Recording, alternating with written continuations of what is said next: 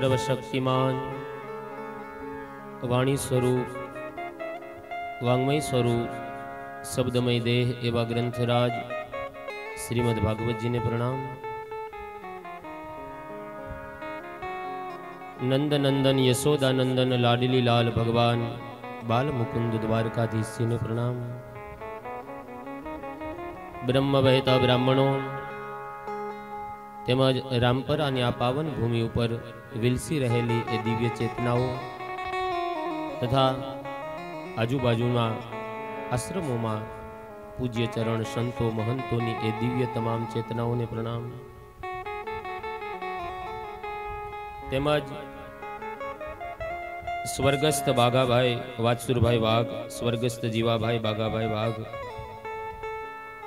તેમજ વાઘ પરિવારની એ તમામ દિવંગત આત્માઓના સ્મરણાર્થે, એમના મોક્ષાર્થે આ પાવન અવસરના નિમિત્ત માત્ર યજમાન પરિવાર શ્રી લાલાભાઈ વાઘાભાઈ વાઘ, ધર્મપત્ની શ્રી રાણીબેન લાલાભાઈ, શ્રી શિવાભાઈ વાઘાભાઈ વાઘ, ધર્મપત્ની શ્રી રાજીબેન શિવાભાઈ, શ્રી નનાભાઈ વાતસુરભાઈ શ્રી લક્ષ્મણભાઈ વાતસુરભાઈ શ્રી સાવજભાઈ વાતસુરભાઈ તેમજ શ્રી દુલાભાઈ આતાભાઈ વાઘ તથા સમસ્ત વાઘ પરિવાર તથા આટલા વ્યસ્ત જીવનમાં પોતાનો કિંમતી સમય કાઢી ભગવાનની કથા સાંભળવા માટે ઉપસ્થિત આપ દરેક શ્રોતાઓ તથા કેજી સ્ટુડિયો યુટ્યુબ ચેનલ ચેનલના માધ્યમથી આ કથાનું જીવંત પ્રસારણ નિહાળી રહેલા દરેક શ્રોતાગણ, આ તમામના હૃદય કમળમાં બિરાજમાન એ પરબ્રહ્મ પરમાત્માને વંદન.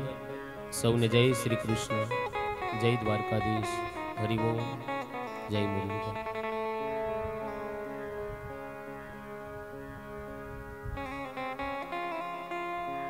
સદાશિવ્યા સદાશિવ્યા શ્રીમદ ભાગવતી કથા યશ્યા શ્રવણ માત્રેણ હરિશ્ચિત્તમ સમાશ્રય વારંવાર શાસ્ત્રકારો મહાપુરુષો સંતજનો મને તમને સમજાવે કે સદાયને માટે કથાનો આશ્રય લેવો હરિ અનંત હરિ કથા અનંતા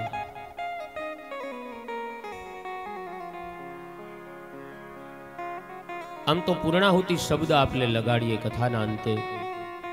પણ આ ગ્રંથ ક્યારેય પૂર્ણ નથી થતો. સાત દિવસ નહીં, પણ સાત જન્મ સુધી. આને ગાયે રાખીએ, છતાંય આ ક્યારેય પૂર્ણ ન થાય. આ હંમેશા વિરામ લે છે. અહીંયા કથા વિરામ થાય, વળી બીજે કથાની શરૂઆત થાય, વળી ત્યાં કથા વિરામ થાય, વળી ત્રીજી જગ્યાએ કથાની શરૂઆત થાય. એમ ગ્રંથ ક્યારેય પૂર્ણ નથી થતો. હંમેશા કથાને વિરામ અપાય છે. પણ ખરા અર્થની અંદર આજના દિવસે આ કથા ખાલી બોલવાની વિરામ થાય છે. ખરા અર્થમાં જીવનની કથા કાલથી શરૂ થશે. આમાંથી એવી પાંચ સારી વાતો જે આપણા જીવનમાં આપણે ઉતારીએ અને એ પ્રમાણે જીવન જીવતા થઈએ, તો આપણા જીવનની ખરી કથા એ કાલથી શરૂ થતી હોય છે. કથા માત્ર બોલવાની વિરામ થતી હોય છે. પણ આમાંથી પાંચ સારી એવી વાતો આપણા જીવનમાં ઉતારીએ. એ પ્રમાણે ઋષિ મુનિઓના બતાવેલા માર્ગે ચાલીએ, આપણા જીવનને સુધારીએ. જે કાંઈ દુર્ગુણો હોય, કારણ કે કથા એ તો દર્પણ છે, અરીસો છે. આ મને તમને મારા તમારા સ્વદોષનું દર્શન કરાવે છે. ખામીને ખૂબી અમારામાંય હોય એવું ન હોય. આ કથા અમારા માટે પણ છે, માત્ર તમારા માટે જ નથી. અહીંયા બેઠા બેઠા આ કથાને અમારે પણ અમારા જીવનમાં ઉતારવાની છે. અમે જેટલા સારા ન હોઈએ, એટલા તમે અમને સારા માની લ્યો છો એ તમારી મહાનતા છે. નહીતર ખામીને ખૂબી તો ઈશ્વરે દરેકમાં મૂકી હોય છે.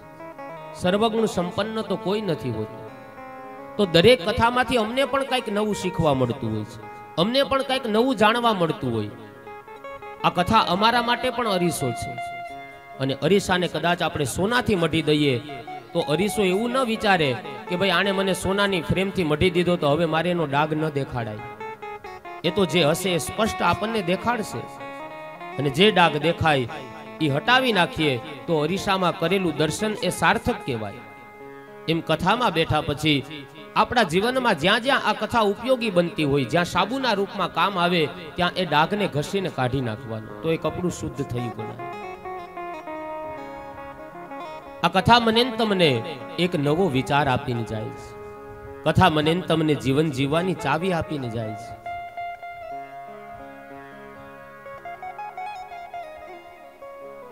તો સદા સેવ્યા સદા સેવ્યા શ્રીમદ ભાગવતી કથા. ભાગવતકાર કહે છે, હે જીવ, જ્યારે જ્યારે અવસર મળે, એ વક્તા ભલે કોઈ પણ હોય, દરેક વંદનીય વક્તા હોય છે.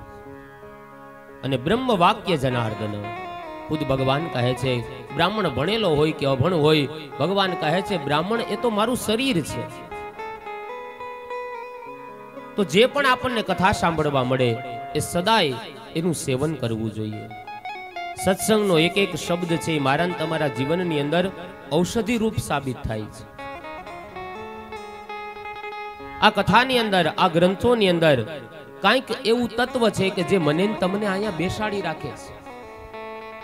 કાંઈક એવી આની અંદર એવી શક્તિઓ છે કે જે મને તમને જકડી રાખે છે. બાકી આપણે આટલી કલાક, ત્રણ ત્રણ કલાક આપણે ઘરે ભલે એસી હોય, સોફા સેટ હોય, ગાડલા હોય, છતાંય આપણે ત્રણ કલાક ક્યારેય બેસી શક્યા સ્થિર થઈ? અહીંયા આપણે બેસી શકીએ. નથી એવી ફેસિલિટી નથી એસી નથી કુણા માખણ જેવા ગાડલા, નીચે બેસીએ. છતાંય આપણે ત્રણ ત્રણ કલાક આ ગ્રંથને આપી દઈએ છીએ. શું કામ? આમાં કંઈક એવું તત્વ છે કે જે મને તમને જકડી રાખે છે, પકડી રાખે છે.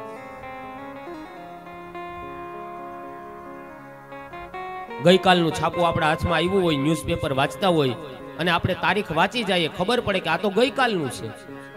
જૂનું થયેલું છે. તરત આપણે છાપાનો ઘા કરી દઈએ.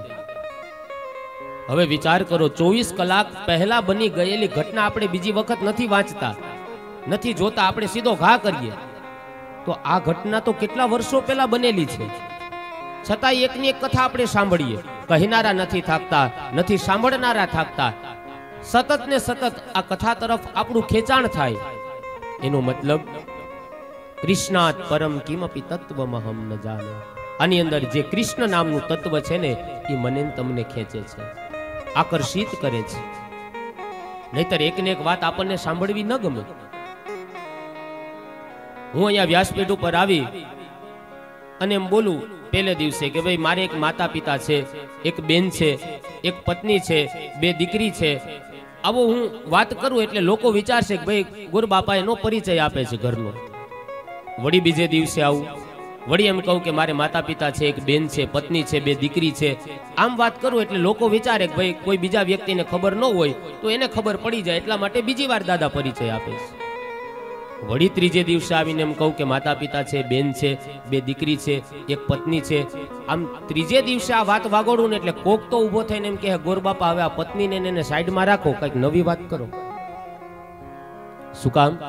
એકને એક વાત આપણને સાંભળવી નથી ગમતી.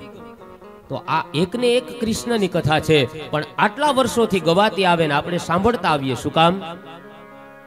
કૃષ્ણાત પરમ કિમપી તત્વમહમ ન જાણે. એ કૃષ્ણ મને તમને પકડી રાખે છે. સંસારની વાત આપણને વારંવાર સાંભળીએ તો આપણને કંટાળો આવે. જીવની વાત સાંભળવાથી કંટાળો આવે, પણ આ શિવ એટલે કલ્યાણની વાત સાંભળવાથી કંટાળો નથી આવતો. ભગવાન કૃષ્ણ મને તમને અહીંયા પકડી રાખે છે. ભગવાન દ્વારકાધીશ મને તમને અહીંયા પકડી રાખે છે. એવી કથાની અંતિમ દિવસનું આજે અંતિમ સત્ર અને મારી આપણી કથા એ વિરામ તરફ જઈ રહી છે. સવારના કથા સત્રની અંદર આપણે જોયું, સુદામ નામના બ્રાહ્મણ ઉપર ભગવાન અદ્ભુત કૃપા કરે છે. સુદામાજીને ભગવાનની પાસે લાંબો હાથ કરીને માગ્યું નથી, પણ સુદામા એ ભગવાનને દેવા ગયા હતા લેવા નહોતા ગયા. ચાર મુઠ્ઠી તો ચાર મુઠ્ઠી કાચા તો કાચા ઉછીના તો ઉછીના, પવા તો પવા. એ સુદામાં દેવા ગયા હતા પણ કાંઈ લેવા નહોતા એને અયાચકતાનું વ્રત હતું. અને એ સમયે ખાલી દર્શન કરવા ગયા ને સુદામાને અઢળક સંપત્તિ આપી દીધી. સુદામા કહે છે, પ્રભુ, આ સંપત્તિ આપીને તમે શું મારાથી દૂર થવા માંગો છો? આ સંપત્તિમાં મને આંધળો કરી દેવો છે, આ માયામાં? આ માયાની મુઠ્ઠી વળી જાય ને પછી ખુલતી નથી પ્રભુ. કોઈને જમીનની માયા, કોઈને ગાડી બંગલાની માયા, કોઈને પદ પ્રતિષ્ઠાની માયા, પણ એક વખત માયા છૂટી જાય ને તો ભગવાનની કાયા પ્રગટ થઈ જાય. પણ છૂટવું બહુ અઘરું છે. કહેવાય ને, મમતા મરે નહીં, એનું મારે શું કરવું? મમત્વ અહીંયા સુદામા કહે છે, પ્રભુ, મારે આ તમારી સંપત્તિ નથી જોતા. મારે તો તમારા નામરૂપી નાણું જોઈએ. કારણ કે સાચું નાણું એક જ મારે નારાયણનું નામ રે મારે આ લૌકિક સંપત્તિમાં ભગવાન, મારે, મારો જીવ નથી ફસાવવો. નહીતર પુનરપી જનનમ, પુનરપી મરણમ, નવીમાં નવીમાં, ચોર્યાસી લાખ યોનીમાં મારે ભટકવું પડશે. ઝૂંપડું વારીને સુદામાજી ભગવાનના નામ લીધા છે. ભગવત ધામને પ્રાપ્ત કરે છે. તો એ દિવ્ય સુદામજીના ચરિત્રની કથા જોઈ સુખદેવજી મહારાજ આગળનું વર્ણન કરતા કહે, અખે કદા દ્વારવત્યામ વસતો રામ કૃષ્ણયો સૂર્યો પરાગ સુમહાન, આસિત વલ્કપક્ષતે યથા. એક સમયે સૂર્યગ્રહણ વખતે પાંડવો બધા કુરુક્ષેત્રના મેદાનમાં પધાર્યા છે. દ્વારકાથી બધા જ યાદવો પણ ત્યાં આવે છે.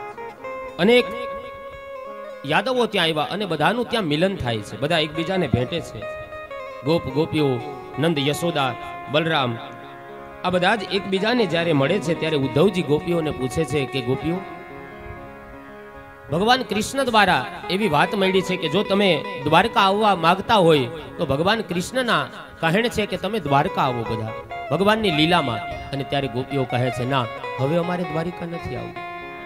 કારણ કે કૃષ્ણનો વિરહ છે ને, એ હવે અમારી દવા બની ગઈ છે. હવે તો કૃષ્ણના પ્રેમમાં અમે જીવી જશું. અમને જેણે પ્રેમ આપ્યો એ પ્રેમની યાદોમાં અમે જીવન વિતાવશું. હવે અમારે દ્વારિકા ધક્કો નથી ખાવો. હવે તો કૃષ્ણ કૃષ્ણ કરતા ઉદ્ધવ પ્રાણ અમારા વહી જાય રે. જે માટીમાં શ્રી કૃષ્ણ રહીમાં, એ માટીની મમતા જ રે. કૃષ્ણ કૃષ્ણ કરતા ઉદ્ધવ પ્રાણ અમારા વહી જાય રે. વ્રજની રજમાં કાયા વિરમે એવી ઈચ્છા મન માહી રે. હવે અમારી એવી ઈચ્છા છે કે જે વ્રજની રજમાં ભગવાને લીલા કરી, વ્રજની રજમાં જ અમારા પ્રાણ છૂટી જાય. કૃષ્ણને બસ પ્રેમ કરતા કરતા અમે વિદાય લઈએ. કારણ કે પ્રેમ મોટું તત્વ છે. શસ્ત્ર વગર રાજ કરે અને સાકળ વગર બાંધી શકે આવું કોઈ તત્વ હોય તો એ માત્ર ને માત્ર પ્રેમ છે. અને એટલા માટે પરસ્પર કથાના અંતિમ દિવસે સંદેશો આપું કે ભાઈઓની વચ્ચે, કુટુંબ પરિવારની વચ્ચે બેનું દીકરીઓ આ બધા જ પ્રેમથી રહેજો કારણ કે પ્રેમ બહુ મોટું તત્વ છે.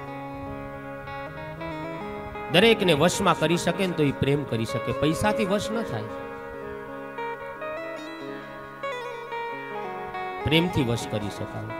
માટે દરેકને એકબીજાને પરસ્પર પ્રેમ આપવો. કથા સાંભળ્યા પછી કોઈની સાથે એવા વિખવાદ થયા હોય, ક્યાંય મન ભાંગી ગયા હોય, તૂટી ગયા હોય, તો એની પાસે સામેથી જવું કે, હાલ આજે દૂધ પીને આપણે આપણું સમાધાન કરીએ. કારણ કે અમે અમારા આંગણે ભાગવતજી પધરાવ્યા. જે પ્રેમનો અવતાર છે, જેણે જગતને પ્રેમ આપ્યો, તો તું તો મારો પરિવારનો છો, તને પ્રેમ ના આપી શકું. જ્યાં જ્યાં આવા મનભેદ થયા હોય ને, ત્યાં સામેથી જતું રહેવું દૂધ પીન સમાધાન કરી નાખવું. કારણ કે આપણે પ્રેમ શાસ્ત્ર લઈને બેઠા છીએ. કૃષ્ણ તો પ્રેમનો દેવતા છે.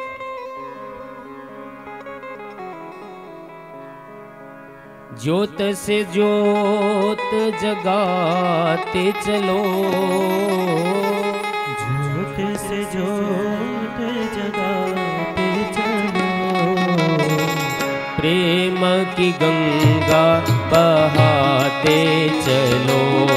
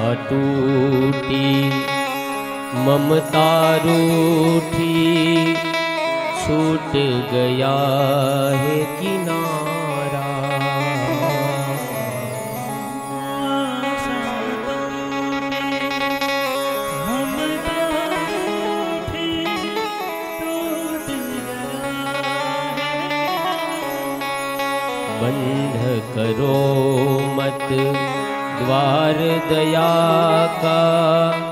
कुछ तो दे दो सहारा।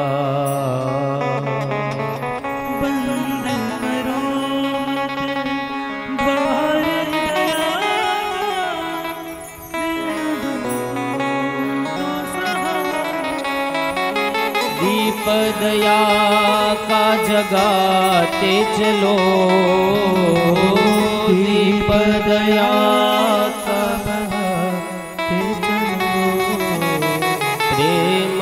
ગંગા બહાતે ચલો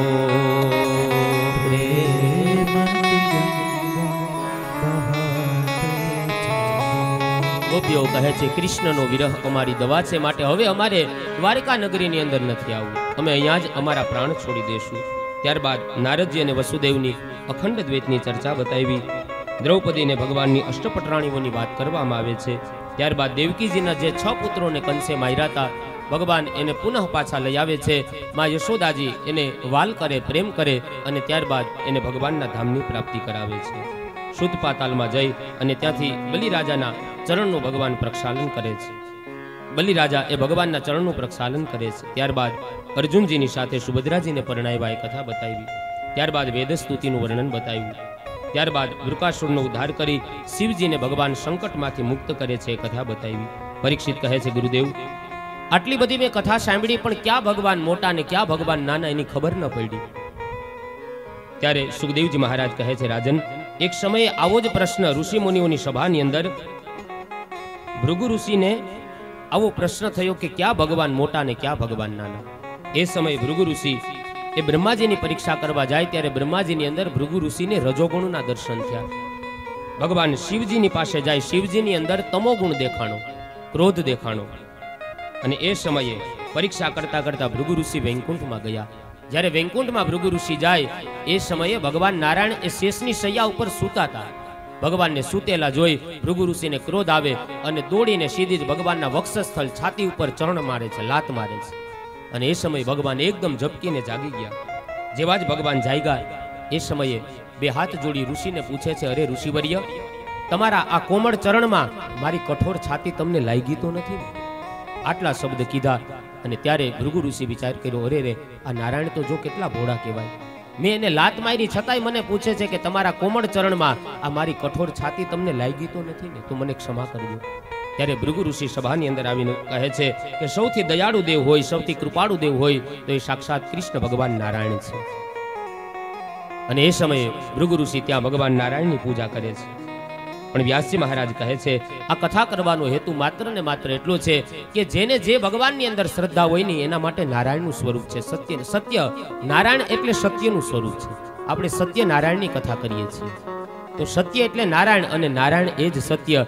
જેને જે દેવ ઉપર વધારે શ્રદ્ધા હોય એ દેવ એના માટે સૌથી મોટા છે. કોઈ માતાજીને માનતું હોય, કોઈ શિવને માનતું હોય, પણ આખરમાં બધા જ તત્વ છે. એ સત્ય નારાયણમાંથી પ્રગટ થયેલા છે. બધા જ દેવ તત્વ એક છે. ઘાટ ઘડ્યા પછી નામ રૂપ જૂજવા, અંતે તો હેમનું હેમ હોય.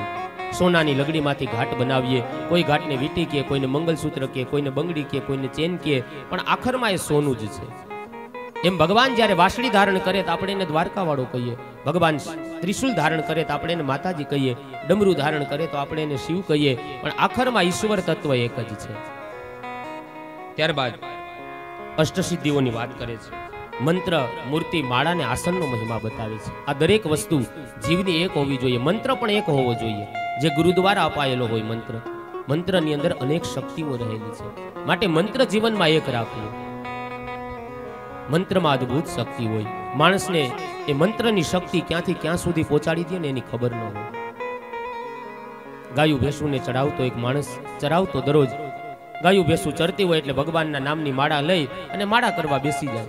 જંગલમાં જપ કરતો હતો ને એ સમયે ત્યાંના રાજા પસાર થયા.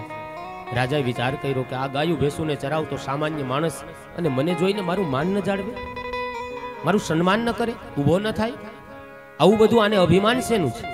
જ્યાં માળા પૂરી થઈને આમ આંખ ખોઈ તા તો સામે રાજા ઊભા તરત જ ઊભો થઈ ગયો, બે બાકડો બની ગયો. અરે, રાજાજી, માફ કરજો, મને ખબર નહીં કે તમે આવી ગયા છો. રાજા એકદમ ક્રોધમાં આવ્યા. કીધું, તું અમારી રૈયત કેવા? અમારો માણસ કેવા તું? અને મને જોઈને તું મારું સન્માન ન જાળવે? હું અહીંનો રાજા છું સમ્રાટ. અરે રાજાજી, માફ કરજો, હું હું તો મારા દ્વારકાવાળાને યાદ કરતો તો મને ખબર નહીં તમે આવી ગયા પ્રભુ. નહીતર તો અમે તો તમારી રૈયત છીએ. તમારું તો અમારે સન્માન જાળવવું પડે. ત્યારે રાજાએ પૂછ્યું કે બોલ, તારો દ્વારકાવાળો ક્યાં છે? તારો દ્વારકાવાળો હોય તો બતાવે એનું મુખ કઈ બાજુ છે? એનો ધંધો શું છે? આ ત્રણ પ્રશ્નના જવાબ આપ. નહીતર હું તને મારો તે અપરાધ કર્યો, હું તને ફાંસી આપીશ. મૂંઝાણો પેલો માણસ ઘરે જાય છે. ઉદાસ મોઢું. એની દીકરી જોવે. વિચાર કર્યો, પિતાજી કંઈક ઉપાધિમાં છે. પિતાજી કંઈ ચિંતા છે? કરે, "અરે, ના ના, બેટા. હા, પિતાજી, તમારું મોઢું ઉદાસ હોય એવું લાગે છે. કહે છે, દીકરી, હું કાલે આપણા ભગવાન જે દ્વારકાવાળાને માનીએ છીએ, એના જપ કરું. ભગવાનને યાદ કરતો હતો તા તો રાજા આવી ગયા. મને ત્રણ પ્રશ્ન કર્યા કે તારો ભગવાન ક્યાં છે? એનું મુખ કઈ બાજુ છે? એનો ધંધો શું છે? દીકરી, મારે શું જવાબ દેવો? અરે, પિતાજી આવા નાના પ્રશ્નના જવાબ તો હું આપી દઉં. તમે આરામથી જમી લ્યો, સુઈ જાઓ. બાપ ને દીકરી બંને ભોજન લઈને સુઈ ગયા. સવારે સભા ભરાણી. પેલા માણસને હાજર કરવામાં આવ્યો. કીધું કે મારા ત્રણે ત્રણ પ્રશ્નના જવાબ છે, નહીતર ફાંસી અપાવી દો કીધું કે મારી દસ વર્ષની દીકરી જવાબ આપી દેશે દીકરીને પૂછ્યું, બોલ, તારા પિતાજી કાલે જે દ્વારકાવાળાને યાદ કરતા હતા એ ક્યાં છે? બતાવ. દીકરી કહે કે, એક મને દૂધનો ગ્લાસ કળશ આપો ને. કળશ હાજર કર્યો સાકરનો ગાંગડો હાજર કર્યો. દસ વર્ષની દીકરીએ દૂધમાં સાકર પધરાવી દીધી, દૂધને હલાવી નાખ્યું. દૂધમાં સાકર ભળી ગઈ દસ વર્ષની દીકરીએ સામો પ્રશ્ન કર્યો, બોલો, રાજા, સાકર ગયા, ગઈ ક્યાં? રાજાએ કીધું, અરે બેટા, એ તો દૂધમાં ભળી ગઈ. દસ વર્ષની દીકરી કીધું, અમારો દ્વારકાવાળો જગતમાં ભળેલો છે. એને જોવાનો ન હોય, એનો અનુભવ કરવાનો હોય. રાજા દૂધ તને મીઠું લાગે એની પાછળનું કારણ? કે એમાં સાકર ભળેલી છે. એમાં સંસાર, આ પરિવાર આપણને મીઠો લાગે. એની પાછળનું કારણ કે આમાં દ્વારકાવાળો ભળેલો છે. ફૂલનો હાર માળા હોય, ફૂલનો હાર. આ ફૂલનો હાર છે, એમાં ફૂલ આપણને દેખાય છે, પણ વચ્ચેનો દોરો આપણને નથી દેખાતો. પણ આ ફૂલ ટકેલા હોય ને, તો એની પાછળનું કારણ કે એમાં વચ્ચે દોરો છે, એ દેખાતો ન હોય. એમ આપણે બધાય તો દ્વારકાવાળાના ફૂલ છે આપણે ટકેલા છીએ, એની પાછળનું કારણ કે વચ્ચેનો દોરો દ્વારકાવાળો છે. જે મને તમને એક કરીને રાખે, જે મને તમને ભેગા કરીને રાખે. દસ વર્ષની દીકરી કહે છે, અમારો દ્વારકાવાળો દુનિયામાં ભળેલો છે, રાજા. કીધું, હાલ માની લઉં કે બધામાં તારો દ્વારકાવાળો ભળેલો. એનું મુખ કઈ બાજુ છે? દસ વર્ષની દીકરી કીધું, એક દીવો પેટાવો. દીવો પ્રગટાવવામાં આવ્યો. બોલ, રાજા, દીવાનું મુખ કઈ બાજુ છે? કહે તો જે બાજુથી જો એ બાજુથી એનું મુખ હોય. તો કે, અમારો દ્વારકાવાળો અત્ર તત્ર સર્વત્ર બધી બાજુથી એના ભક્તોની રક્ષા કરે છે. રાજાએ ત્રીજો પ્રશ્ન કર્યો બોલ તારા દ્વારકાવાળોનો ધંધો શું છે? દસ વર્ષની દીકરી કે રાજા, જ્ઞાન મેળવવું હોય ને તો રાજગાદી ઉપર ન બેસાય. નીચે બેસીને જ્ઞાન મેળવાય. તમારે જાણવું છે કે પછી અભિમાનમાં પૂછો છો? કીધું, જાણવાની જિજ્ઞાસા. કીધું, તો તમારે નીચે બેસવું પડે. રાજા દોડીને રાજગાદી ઉપરથી નીચે ઉતરી ગયા અને દસ વર્ષની દીકરીને તેડી અને ગાદી ઉપર બેસાડી દીધી. પોતે જમીન ઉપર બેસી ગયો. કીધું કે, બોલ, હવે તારા દ્વારકાવાળાનો ધંધો મને જણાવ. અરે રાજા, આટલી હજી તમને ખબર ન પડી? તો કે નહીં, મને કે તારા દ્વારકાવાળાનો ધંધો શું છે? કીધું કે હું એક ગાયું ભેંસુને ચરાવતા એક સામાન્ય માણસની દીકરી અને મને મારા દ્વારકાવાળાએ આ રાજગાદી ઉપર બેસાડી દીધી અને તને નીચે જમીન ઉપર બેસાડી દીધો ને આજ અમારા દ્વારકાવાળાનો ધંધો છે. એક ભગવાનનું નામ સ્મરણ જય દ્વારકાધીશ, જય મુરલીધર, જય દ્વારકાધીશ. માણસને ક્યાંથી ક્યાં સુધીની યાત્રા કરાવી દે ને એ ખબર ન પડે. માટે મંત્ર ગુરુએ આપેલો જે મંત્ર હોય, જે ભગવાનનું નામ હોય, એમાં શ્રદ્ધા રાખવી. મંત્ર પછી મૂર્તિ. જે ભગવાનને, જે ઈષ્ટને આપણે માનતા હોય, એ મૂર્તિ પૂજાનું આપણે ત્યાં મહત્વ છે. એક આસન ઉપર બેસવું. મંત્ર, મૂર્તિ અને માળાનો મહિમા બતાવ્યો, આસનનો મહિમા બતાવ્યો. એકાદશ સ્કંદના ઓગણીસમાં અધ્યાયની અંદર મણિરત્ન માલા કીધી છે એક એક વાક્યમાં ઉદ્ધવજી જવાબ આપે. ભગવાન એક એક વાક્યમાં ભગવાન જવાબ આપે ને ઉદ્ધવજી એક એક વાક્યમાં ભગવાનને પ્રશ્ન કરે છે. પ્રશ્ન કરે, સમ એટલે શું? ભગવાન કહે, મનને કંટ્રોલમાં કાબુમાં રાખવું ને એ જ સાચો સમ છે. દમ એટલે શું? ભગવાન કહે છે, ઇન્દ્રિયોનો સંયમ રાખવો એ સાચું દમ છે. તિતિક્ષા એટલે શું? ભગવાન કહે છે, જીવનમાં આવતું દુઃખ એને સહન કરવું ને ભગવાનને ફરિયાદ ન કરવી એને તિતિક્ષા કહેવાય. ધીરજ કોને કહેવાય? કહે છે, પોતાની જીભ ઉપર વશ મેળવવો, પોતાની જીભને વશમાં રાખવી એ સાચી ધીરજ છે. કહે છે, શૌર્ય મહાવીર કોને કહેવાય? કહે છે કે જે બીજા ઉપર વિજય મેળવે એને વીર કહેવાય, પણ પોતાના સ્વભાવ ઉપર વિજય જે મેળવે ને એને મહાવીર કહેવાય. કહે, સૌથી શ્રેષ્ઠ ધન કયું? કહે છે, ધર્મ છે ને એ જ સૌથી શ્રેષ્ઠ ધન છે. કહે, સુખ કોને કહેવાય? કહે, દરેક પરિસ્થિતિની અંદર આનંદમાં રહેવું એ જ સાચું સુખ છે. કહે, સત્સંગ કોને કહેવાય? કહે, સજ્જન વૃત્તિ ધરાવતા વિચારવંત માણસોનો સંગ કરવો એનું નામ સત્સંગ છે. કહે છે, દુઃખ કોને કહેવાય? કહે, સુખને મેળવવાની ઈચ્છા રાખવીને એ જ સાચું દુઃખ છે. કહે છે, દરિદ્ર કોણ છે? કહે છે, આ જગતમાં જે અસંતોષી છે, જે વધારે મેળવવાની ઈચ્છાવાળો ઈચ્છાવાળો છે ને દરિદ્ર છે. ત્યારબાદ આવી રીતના સુંદર મજાના પ્રશ્નો પૂછ્યા. ચોવીસ તત્વોનું નિરૂપણ કર્યું છે. ત્યારબાદ આગળ ઉદ્ધવજીને કહે છે, ગંથોષ્ટાદશ સાહસ્ત્ર બાદરાખ્યા મમાગ્રત તત્ર મદપાદ તીર્થોદ્વે સ્નાનો સત્ફરી શુચિ સૂચિ એટલે પવિત્ર થઈને રહેવું એવું ઉદ્ધવજી હું તમને જે જ્ઞાન આપું ને જ્ઞાનનો વારસો તમે જગતમાં આપજો તમે બદ્રિકાશ્રમ જાઓ આ બાજુ કહે છે ત્યાં બદ્રિકાશ્રમની અંદર ગંગાજી વહે ગંગામાં સ્નાન કરજો અને દરેકને ત્યાં ભગવત ભજન કરાવજો દરેકની સાથે સત્સંગ કરજો એ ઉદ્ધવ મારી કથાઓનું જગતની અંદર તમે પ્રચાર કરજો। આ બાજુ ઉદ્ધવજીને ભગવાન પોતાની ચરણ પાદુકા આપે છે। જેમ ભગવાન શ્રી રામ ભરતજીને ચરણ પાદુકા આપે, એમ અહીંયા કૃષ્ણ પોતાના ભક્ત ઉદ્ધવજીને ચરણ પાદુકા આપે છે. ભગવાન શ્રી કૃષ્ણ બધા જ યાદવોને લઈ અને પ્રભાસ તીર્થની અંદર આવે છે. કહે, શ્રાપ વ્યાજેન વિપ્રાણામ, ચિત્તમ પદે સ્થાનિક્ષતામ ક્રિયા. જાંબુવતીનો પુત્ર શાંબ અને બધા જ યદુકુમારો ભેગા મળી અને ઋષિની મશ્કરી કરે છે. સામને ગર્ભવતી સ્ત્રીનો સ્વાંદ સજે છે. ગર્ભવતી સ્ત્રી બનાવે ઋષિ મુનિઓ યદુકુમારો બધા જ. એ ઋષિ મુનિઓની પાસે જાય છે યદુકુમારો. ગર્ભવતી સ્ત્રીનો શાંત સહીજો અનેક ઋષિ મુનિઓ હતા. વિશ્વામિત્રો સિદ્ધ કણવો. દુર્વાસા ભૃગુયંગિરા કશ્યપો વામદેવોત્રી. પશ્ચિમે નારદાદય. નારદ આદિ અનેક ઋષિ મુનિઓ હતા. અને સામને ગર્ભવતી સ્ત્રી બનાવી ઋષિ મુનિઓની પાસે લઈ અને બધા જ યાદવો પૂછે છે, હે ઋષિવર્ય, આ સ્ત્રીને પુત્ર પ્રાપ્તિની ઈચ્છા છે અને પુત્ર જોઈએ છે. તમે જરાક એનું ભવિષ્ય કથન કરી આપો ને કે એને દીકરો આવશે કે દીકરી? ઋષિ મુનિઓ સમજી ગયા કે બધા જ યાદવો અભિમાનમાં મદોન મત બન્યા છે. અને ત્યારે ઋષિમુનિઓ કહે છે, જનૈષ્યંતિ વો મંદા મુસલમ કુલનાશનમ. કહે છે, ન તો દીકરો આવશે કે ન તો દીકરી આવશે, પણ આના ઉદરથી જે આવશે એ મુસળ આવશે, જે તમારા આખા યદુકુળનો સંહાર કરશે. બધા જ યદુકુમારો ડરી ગયા. ગર્ભવતી સ્ત્રીનો સ્વાંદ છોડી જે મુસળ નીકળ્યું એનું ચૂર્ણ કરે છે, દરિયામાં પધરાવે છે. એક ટુકડો વૈધો એ પધરાવ્યો એક માછલી ગળી ગઈ. જરા નામના પારધીના હાથમાં આવે ટુકડો માછલીને ચીરી, ટુકડો બહાર આવ્યો. કહે છે, એનું જે તીર હતું, એમાં અગ્રભાગ, આગળનો ભાગ એ ટુકડાને રાખ્યો છે. જરા નામના પારધીના હાથમાં ટુકડો આવ્યો. જે ચૂર્ણ દરિયામાં પધરાયું હતું, એ તણાતું તણાતું સમુદ્ર કિનારે આવે, એમાંથી નેતર નામનું ધારદાર ઘાસ ઉગે છે. તત્ચૂર્ણ ઇતવા મુસલમ એનું ચૂર્ણ કર્યું એમાંથી ઘાસ ઉગ્યું. ત્યારબાદ નવ યોગેશ્વરોના ઉપદેશની કથા બતાવી. આ બાજુ પ્રભાસ તીર્થની અંદર યાદવોને ઉપદેશ આપતા ભગવાન કૃષ્ણ કહે છે, હે યાદવો, એક દિવસ આપણા પૂર્વજ વસુદેવે દત્તાત્રેયજીને પૂછ્યું કે જીવની મુક્તિ મેળવવા માટેનો સૌથી શ્રેષ્ઠ માર્ગ કયો છે? અને ત્યારે દત્તાત્રેયજી કહે છે, જીવને મુક્તિ મેળવવી હોય તો જીવનમાં ગુરુને ધારણ કરવા પડે. ગુરુ ધારણ કર્યા વગર જીવની ક્યારે મુક્તિ ન મળે. જેમ સંસાર સમુદ્રને જેમ પાર કરવો હોય, એમ સમુદ્રને પાર કરવા માટે નાવડું જોઈએ. એવી જ રીતના સંસાર સાગરને પાર કરવા માટે ગુરુ રૂપી ગુરુની ચરણ રૂપી નૌકા જોઈએ. ગુરુના ચરણને સેવીએ તો જ જીવને મુક્તિ મળે.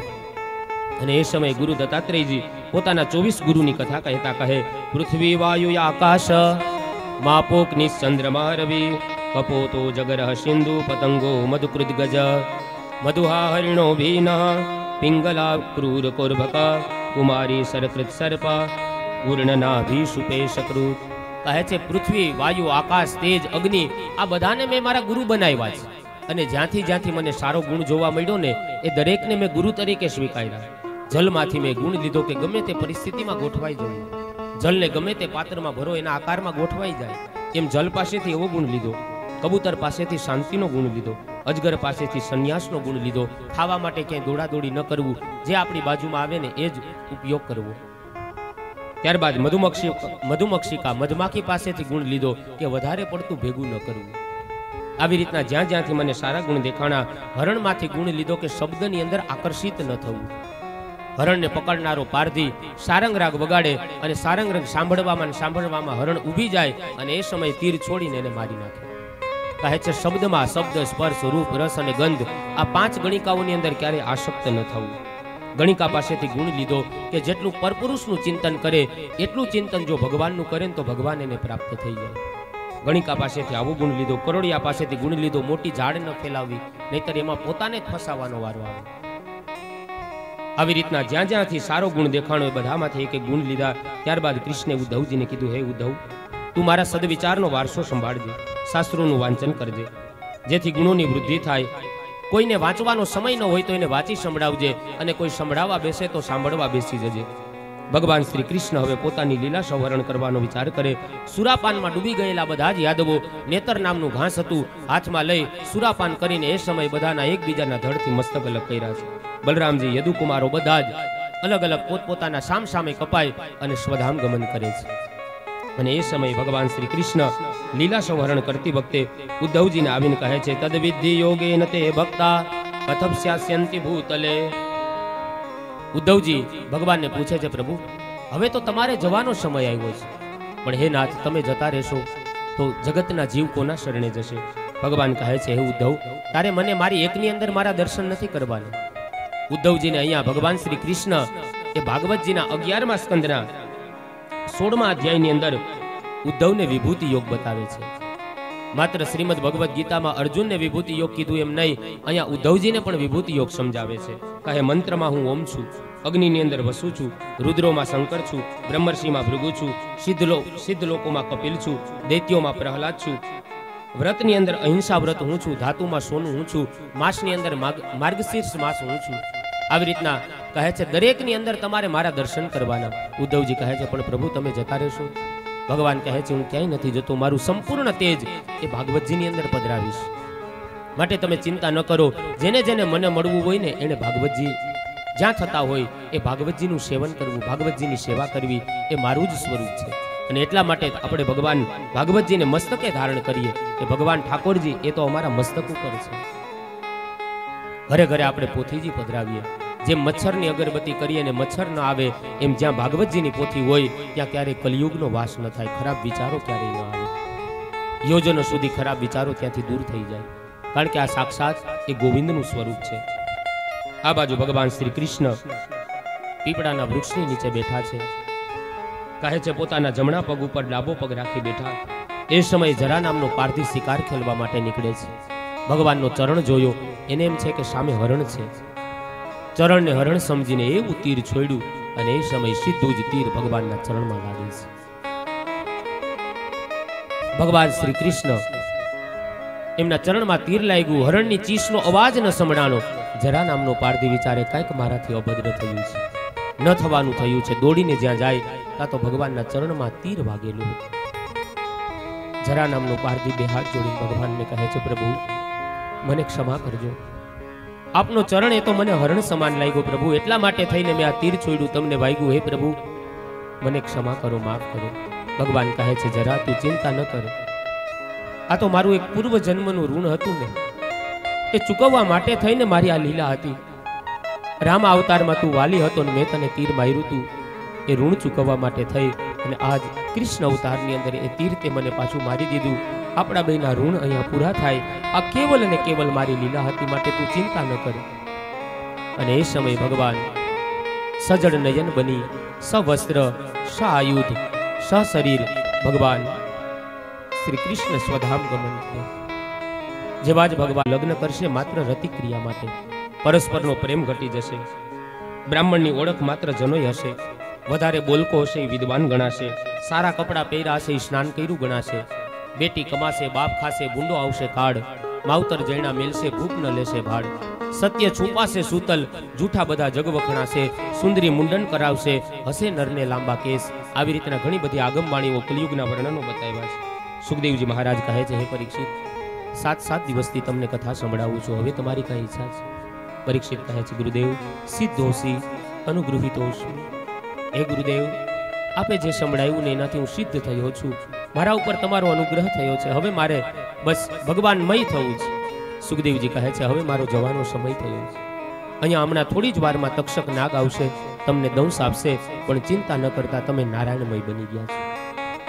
હવે માત્ર તમારું શરીર છે, તમારો આત્મા તો બ્રહ્મની અંદર એકાકાર થઈ ગયો છે.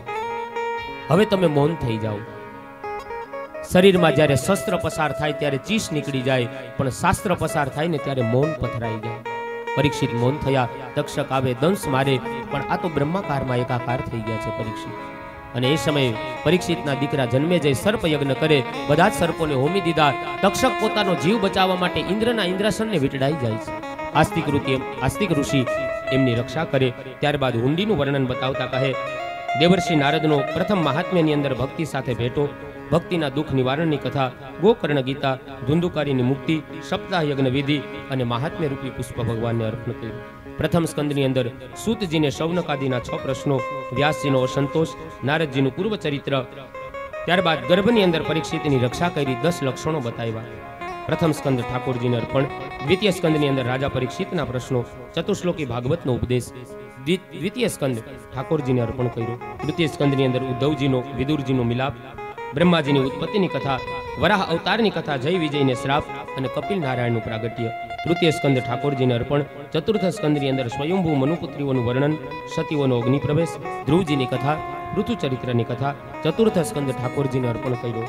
પાંચમા સ્કંદની અંદર પ્રિયવ્રતની કથા, નાભિરાજાનું પવિત્ર ચરિત્ર, ભરતજીનું ઉપાખ્યાન, ત્યારબાદ રહુગણને ઉપદેશ, નરકોની કથા પાંચમા સ્કંદરૂપી પુષ્પ ભગવાન દ્વારકાધીશને અર્પણ, છઠ્ઠા સ્કંદની અંદર અજામી ઉપાખ્યાન નારાયણ કવચની કથા બતાવી.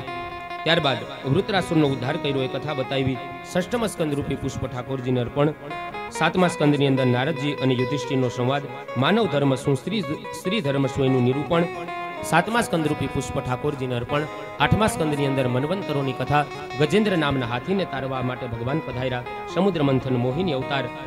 વામનજીના પ્રાગટ્યની કથા, મત્સ્ય અવતારની કથા, આઠમા સ્કંદરૂપી પુષ્પ ઠાકોરજીને અર્પણ, નવમા સ્કંદમાં નાભાગનું પવિત્ર ચરિત્ર અમૃત ચરિત્રની કથા, સગર ચરિત્ર, ભગીરથ દ્વારા ગંગા અવતરણની કથા, યયાતિ ચરિત્ર, નવમો સ્કંદ ઠાકોરજીને અર્પણ, દસમા સ્કંદની અંદર ગર્ભની સ્તુતિ, ભગવાનની ગર્ભ સ્તુતિ કૃષ્ણનું પ્રાગટ્ય, પૂતનાનો ઉદ્ધાર, નામકરણ અઘાસુર નો ઉદ્ધાર કર્યો, બ્રહ્માજીનો મોહ દૂર કર્યો કાલિયા નાગના દમનની કથા, ઇન્દ્રયજ્ઞ નિવારણની કથા, ગિરિરાજજીને ધારણ કર્યા એ કથા, રાસલીલાની કથા જુગલ ગીતનું વર્ણન ઉત્તરાર્ધને પૂર- પૂર્ણ કરી કહે છે, પૂર્વાર્ધને પૂર્ણ કરી ઉત્તરાર્ધની અંદર રૂક્ષ્મણીનું હરણ, રૂક્ષ્મણીનો સંવાદ, સુદામા ચરિત્રની કથા, વેદસ્તુતિનું વર્ણન, અગિયારમા સ્કંદમાં યદુવંશને શ્રાપ મળ્યો નવ યોગેશ્વરોની કથા, ભગવાનના અવતારોની કથા, યદુકુળનો સંહાર, ત્યારબાદ બારમા સ્કંદરૂપી પુષ્પની અંદર કહે છે, કલયુગનું વર્ણન, મંત્રમાળાનો મહિમા, પરીક્ષિતને પરમગતિ શ્રોતાઓને ભગવત પ્રાપ્તિ. આવી રીતના બાર સ્કંદમાં હુંડીનું વર્ણન બતાવ્યું એ તમામ સ્કંદ છે એ ઠાકોરજીને અર્પણ કરીએ ત્યારબાદ એક નાનું એવું વિદાય ગીત લઈ એ પહેલા કોઈ ઊભા ન થાય પોતપોતાનું સ્થાન જાળવી રાખજો અને બાર સ્કંદરૂપી પુષ્પ ભગવાનને અર્પણ કરી કથાને વિરામ આપશું इति श्रीमद्भागवते महापुराणे वैयासिक्याम् अष्टादशसाहस्रयां पारमंस्यां संहितायां द्वादशस्कन्द तत्सत् श्रीराधा कृष्णचरणकमलार्पणमस्तु भागवत भगवान की जय। सुखदेव जी महाराज की जय। વિદાય ટાણે ઓ પંખીડા હસતા મુખડે જાજો રે. હસતા મુખડે જાજો રે. હો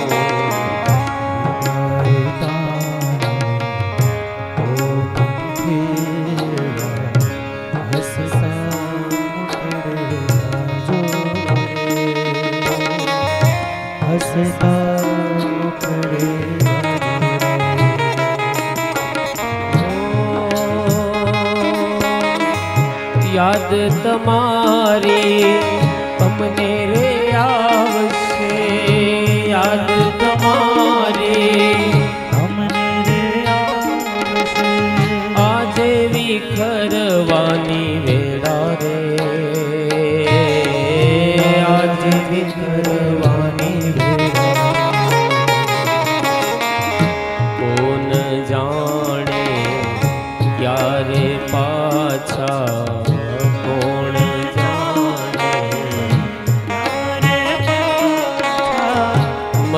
સંગે ભેગા રે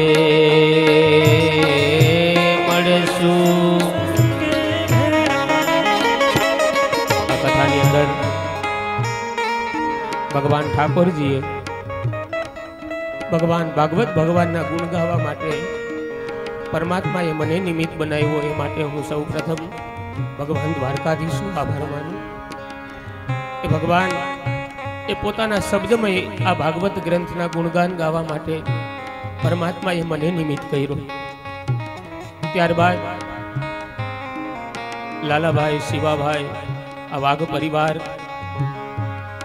અમારે ભોજાભાઈ ને બધા આમ તો બધાના નામ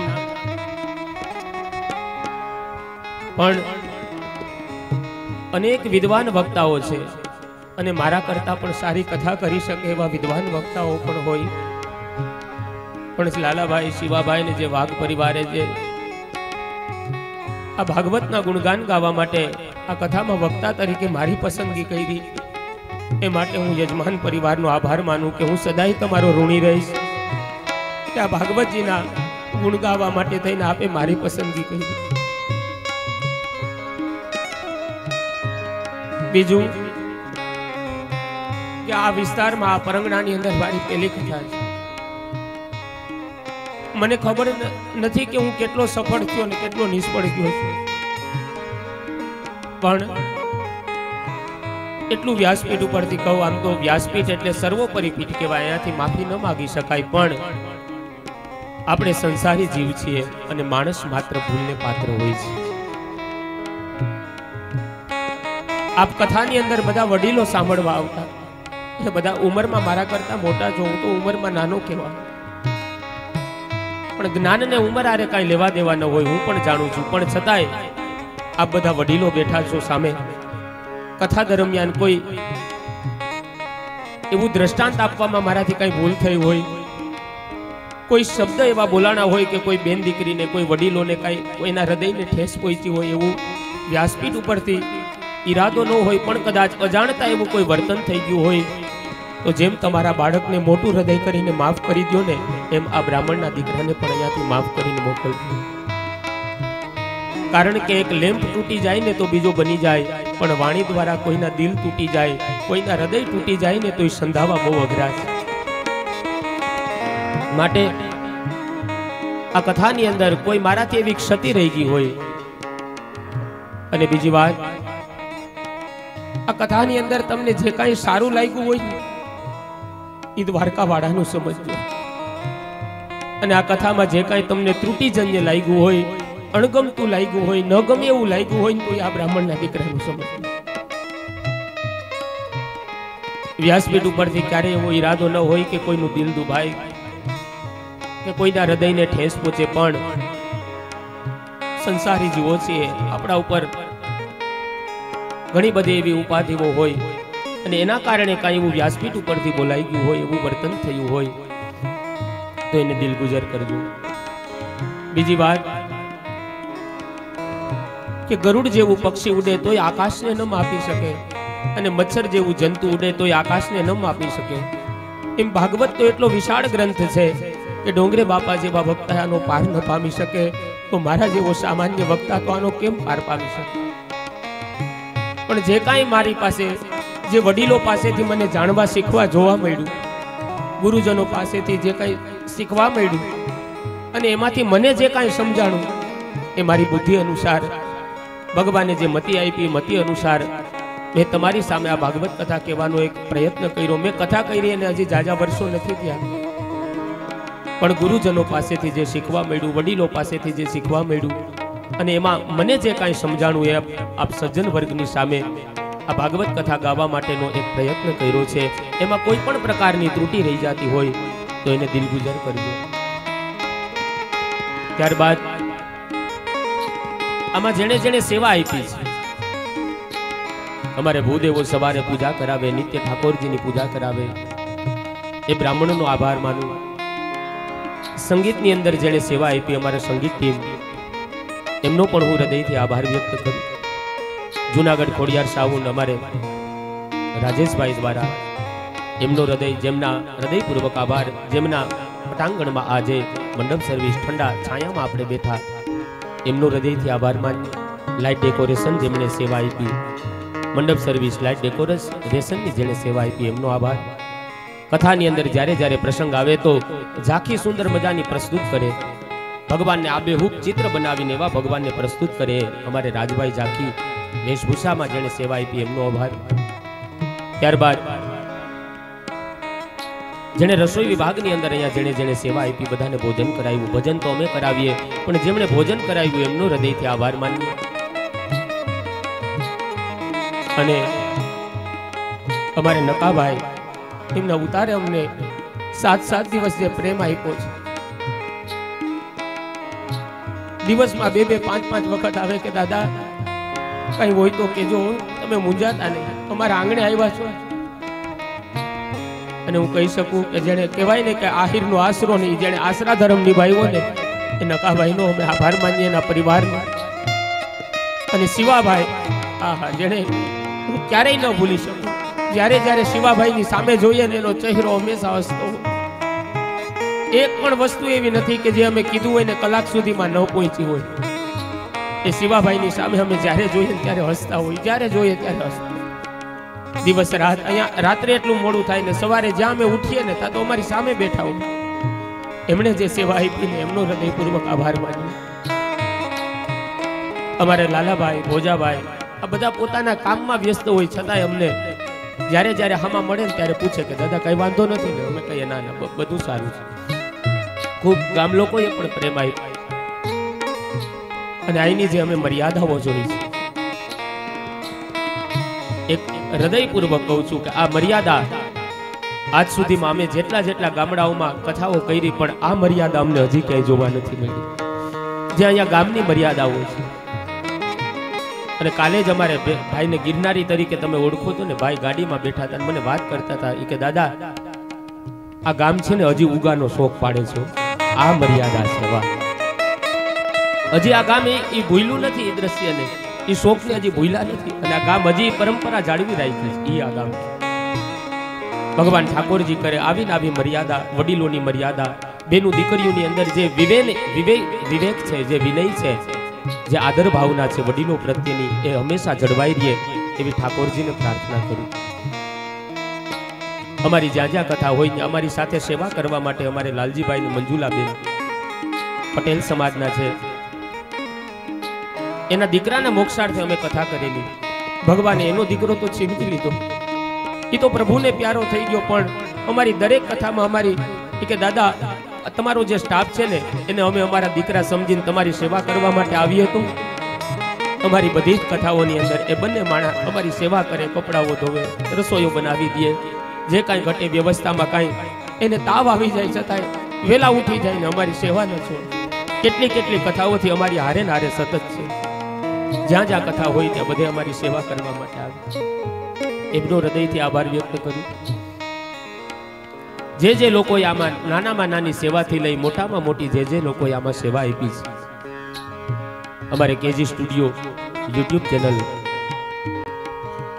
જ્યારે જ્યારે આપણને કથાની યાદ આવે, એ નાના એવા કચકડામાં જેણે કથાને સંઘરી લીધી, એ સ્ટુડિયો, એમની આખી ટીમ અમને કથામાં ક્યાંય નડ્યા નથી ક્યાંય અમારે કેવું નથી પડ્યું ભાઈ હટી જાઓ, આમ રહ્યો, આમ કરો. છતાંય એણે જે પ્રેમથી, એક વિનય અને વિવેક અને આદરથી એ કથાની શું મર્યાદા હોય એ અમને બતાવ્યું છે ને એવી રીતના મર્યાદા યુક્ત બધી શૂટિંગ ફોટાઓ લઈ અને જે સેવા આપી છે એટલે એમનો પણ હૃદયથી આભાર માનીએ.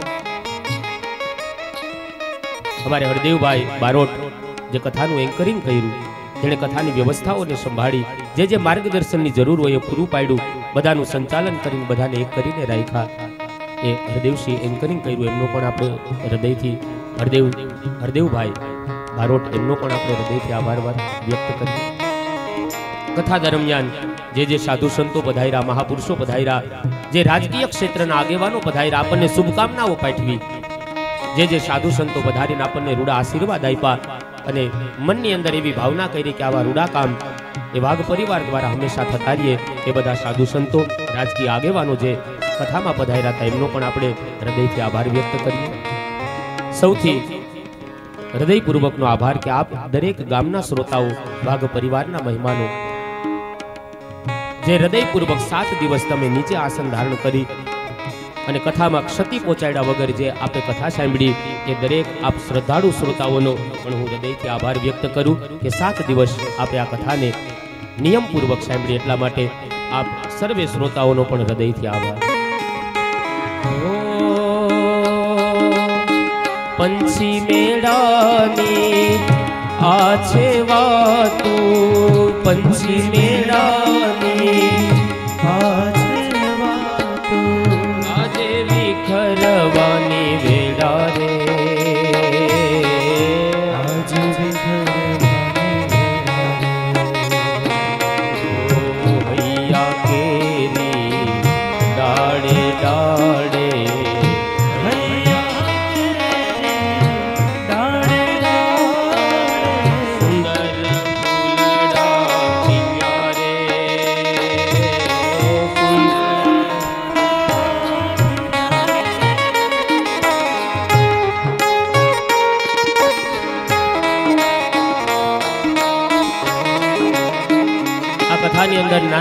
નાની સેવાથી લઈ અને મોટી સેવા જેણે જેણે કરી છે, એ પછી કોઈ પણ ઠાકોરજીની સેવા સમજી અને ભગવાન એને અનેક ગણું ફળ આપશે.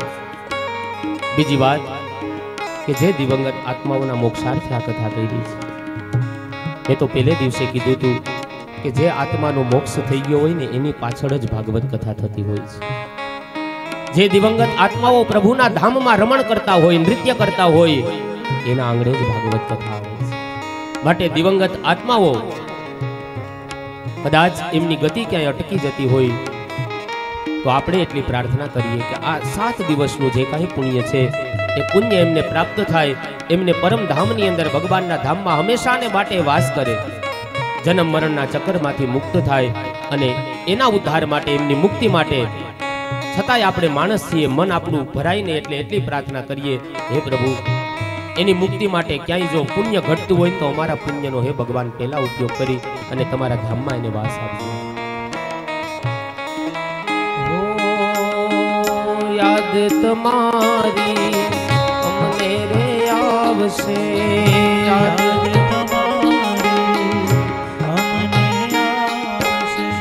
અંતર્ય મારા સુના રે.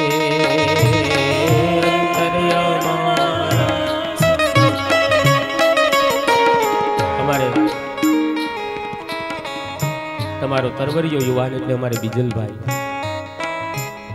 એમણે જે અમને દરરોજ અમારો સમય થાય ને અમારો નિયમ હોય કે અમે ત્રણ વાગ્યે વ્યાસપીઠ ઉપર પહોંચી જઈએ. શ્રોતાઓ આવે કે ન આવે, પણ અમારો નિયમ કે ઠાકોરજીના દ્વારે જઈએ ને, એક મિનિટ આપણે મોડું ન જવું જોઈએ. એક સામાન્ય સરકારી નોકરીમાં કોઈ કર્મચારી મોડો જાય ને એનો પગાર તૂટી જાય તો આ તો દ્વારકાધીશના શરણે આવીએ છીએ. અમારો સમય થાય ને એટલે બીજલભાઈ અમને તેડવા આવે, એટલું જ નહીં. મારે થોડો આંખમાં આંખમાં વચ્ચે એક દિવસ દુખાવો થયો એટલે મેં ભાઈને કીધું, ભાઈ, આંખ દુખે છે કંઈક.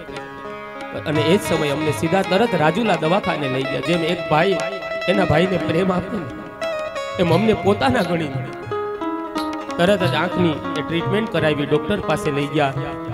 ડોક્ટરે દવા આપી. એક દિવસમાં તો આંખ સાજી થઈ ગઈ. કદાચ ડોક્ટરની દવા તો કામ કરે, પણ આવા ભાઈઓ જેવા મિત્રો હોય ને એની દુવા પણ કામ કરતી હોય. એમની હૃદયની લાગણી કદાચ આંખને મટાડી શકતી હોય. દવા ચોક્કસ કામ કરે, પણ જ્યાં દવા કામ ન આવે ને ત્યાં કોઈની દુઆ પણ કામ આવતી હોય. એવી અમારી સેવા કરી, દવાખાને લઈ જાય, કોઈને રાજુલા જવું હોય, કઈ વ્યવસ્થાઓનો અભાવ થાય તો અમને કઈ વસ્તુ લેવા જવી હોય તો તરત ગાડી લઈને અમારી સેવા કરી. સાત સાત દિવસ સુધી પોતાના તમામ આ યુવાનોએ પોતાના કામ, ધંધા, નોકરી આ બધું જ છોડી અને ભાગવત કથાને ઠાકોરજીને સાત દિવસ આપ્યા. હું ઠાકોરજીને એટલી કૃપા કરું કે હે ભગવાન, એમના જીવનમાં સુખ, શાંતિ અને જે કાંઈ એના જીવનમાં જરૂરિયાત હોય હે ભગવાન કે આ સાત દિવસના પુણ્યના ફળ સ્વરૂપે એમની દરેક ઈચ્છાઓ પરમાત્મા પરિપૂર્ણ કરે એવી ઠાકોરજીના ચરણમાં હૃદયથી પ્રાર્થના કરું છું.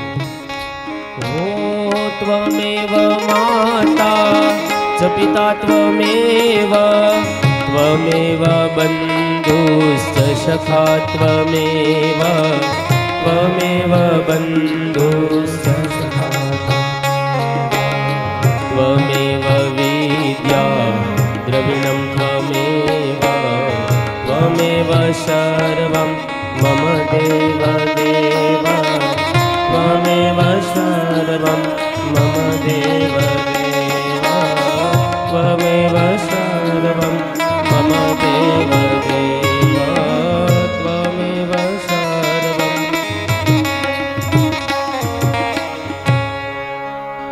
ઓમકાર મંત્રથી આપણે બધા મૌન ધારણ કરશું અને ઓમકાર મંત્રથી આપણે મૌનને છોડશું. ઓમ શબ્દ બોલીને બધા મૌન ધારણ કરશું. ઓ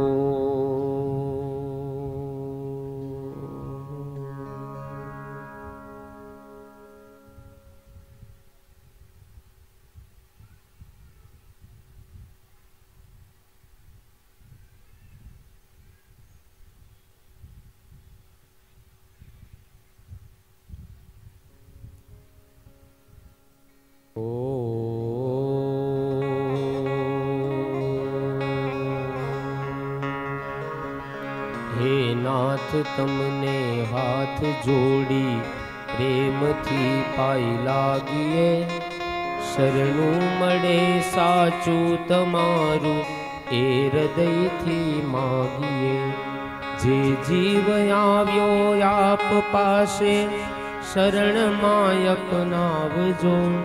પરમાત્માએ આત્માને શાંતિ સાચી આપજો.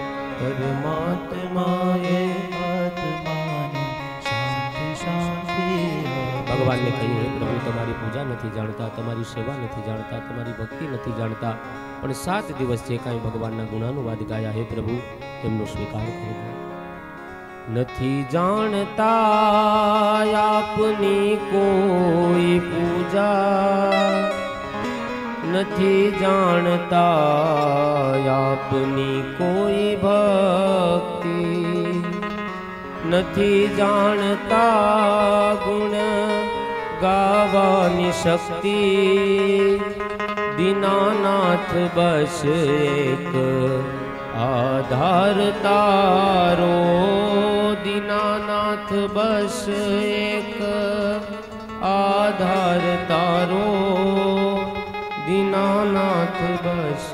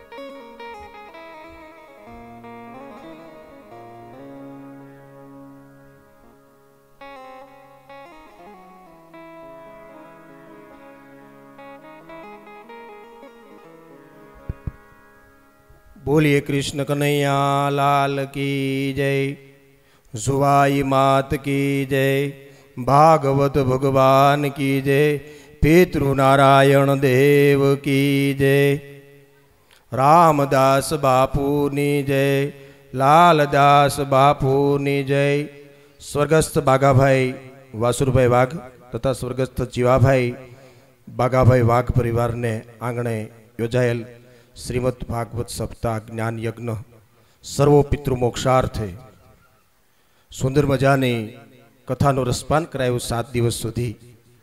જે કથામાંથી કંઈક લેવાનો સાર અને જીવન જીવવાની કેડી આવા કથાકારોએ બતાવી છે. સુંદર મજાની આધ્યાત્મિક તેમજ રાસ ગરબા, સંગીતમય શૈલી સાથે કથાનું આપ સૌને રસપાન કરાયું એવા પ્રદીપ દાદા પંડ્યા તેમજ તેમનું કલાવૃંદ. આપ સર્વો શ્રોતા મિત્રોએ રામપરા ગામમાંથી તમામ ગ્રામજનોએ, માતાઓ, બહેનો, બાળાઓ, બાળકોએ તેમજ બહાર ગામથી પધારેલા માનવતા મહેમાનોએ જે કથાનું રસપાન કરવા પધાર્યા, પોતાનો કિંમતી સમય ફાળવી હાકીમ જેવા મહેમાનો જેને સોનાને સાંકળે બાંધી લાવો તો ન આવી શકે એવા બધા માનવતા મહેમાનોએ, રાજકીય ક્ષેત્રીય નેતાઓએ તેમજ સંતોએ મહંતોએ આ બધાએ હાજરી આપી. આ બધાનો ખૂબ ખૂબ લાલાભાઈ, બાઘાભાઈ, વાઘ વતી આપ સૌનો ખૂબ ખૂબ આભાર માનું છું. તેમજ શ્રીમદ ભાગવત સપ્તાહનું જે આયોજન કરવામાં આવ્યું છે, વાઘ પરિવાર દ્વારા સ્વર્ગસ્થ બાઘાભાઈ, વાસુરભાઈ વાઘ તથા સ્વર્ગસ્થ જીવાભાઈ, બાઘાભાઈ વાઘ પરિવાર. તો સ્મૃતિ ભેટ વાઘ પરિવાર દ્વારા આયોજિત શ્રીમદ ભાગવત સપ્તાહ જ્ઞાન યજ્ઞ. તારીખ બાવીસ ત્રણ બે હજાર ત્રેવીસ, કથાનો શુભ પ્રારંભ તેમજ તારીખ અઠ્ઠાવીસ ત્રણ બે હજાર ત્રેવીસના દિવસે પૂર્ણાહુતિ એટલે કે કથા વિરામ. યુવા વક્તા શ્રી પ્રદીપ દાદા પંડ્યા, સોંદરડાવાળા. હું યુવા ભાગવતચાર્ય શાસ્ત્રી શ્રી પંડ્યા પ્રદીપભાઈ ડી સોંદરડાવાળા, આપ શ્રીને હૃદયપૂર્વક આભાર વ્યક્ત કરું છું. કારણ કે આપ આ હિન્દુ સંસ્કૃતિના વારસાના સાચા પ્રતિનિધિઓ છો. આપ આ શ્રીમદ ભાગવત જ્ઞાન યજ્ઞમાં વક્તા તરીકે મારી પસંદગી કરી ઈશ્વરના શબ્દમય સ્વરૂપની જ્ઞાનવાણી ગાવાનો મને અવસર પ્રદાન કર્યો. તે માટે આપ સૌનો કૃતજ્ઞ પૂર્વક ઋણી છું. આવા રૂડાકામો આપના હાથે થતા રહે એવી પરમ કૃપાળુ પરમાત્માને આ અવસરે પ્રાર્થના કરું છું. આપ શ્રીને મારા ખૂબ ખૂબ વ્યાસપીઠ ઉપરથી સાધુવાદ કથાના નિમિત્ત માત્ર યજમાન શ્રી લાલાભાઈ બાગાભાઈ વાઘ, શ્રીમતી રાણીબેન લાલાભાઈ વાઘ. તેઓ વ્યાસપીઠના સ્ટેજ પર પધારે શ્રી લાલાભાઈ બાઘાભાઈ વાઘ.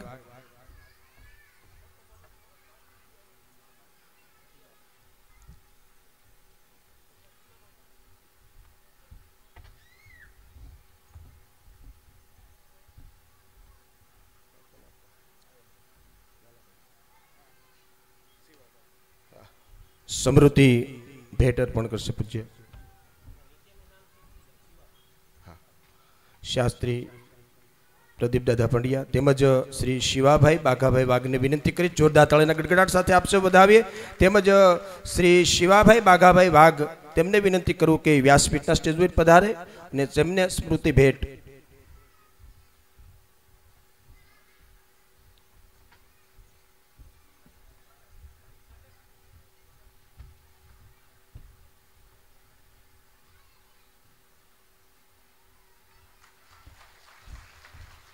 આપશે શ્રી પ્રદીપ દાદા ભંડિયા બોલીએ, કૃષ્ણ કનૈયા, લાલ કી જય સ્વાય મહાત કી જય.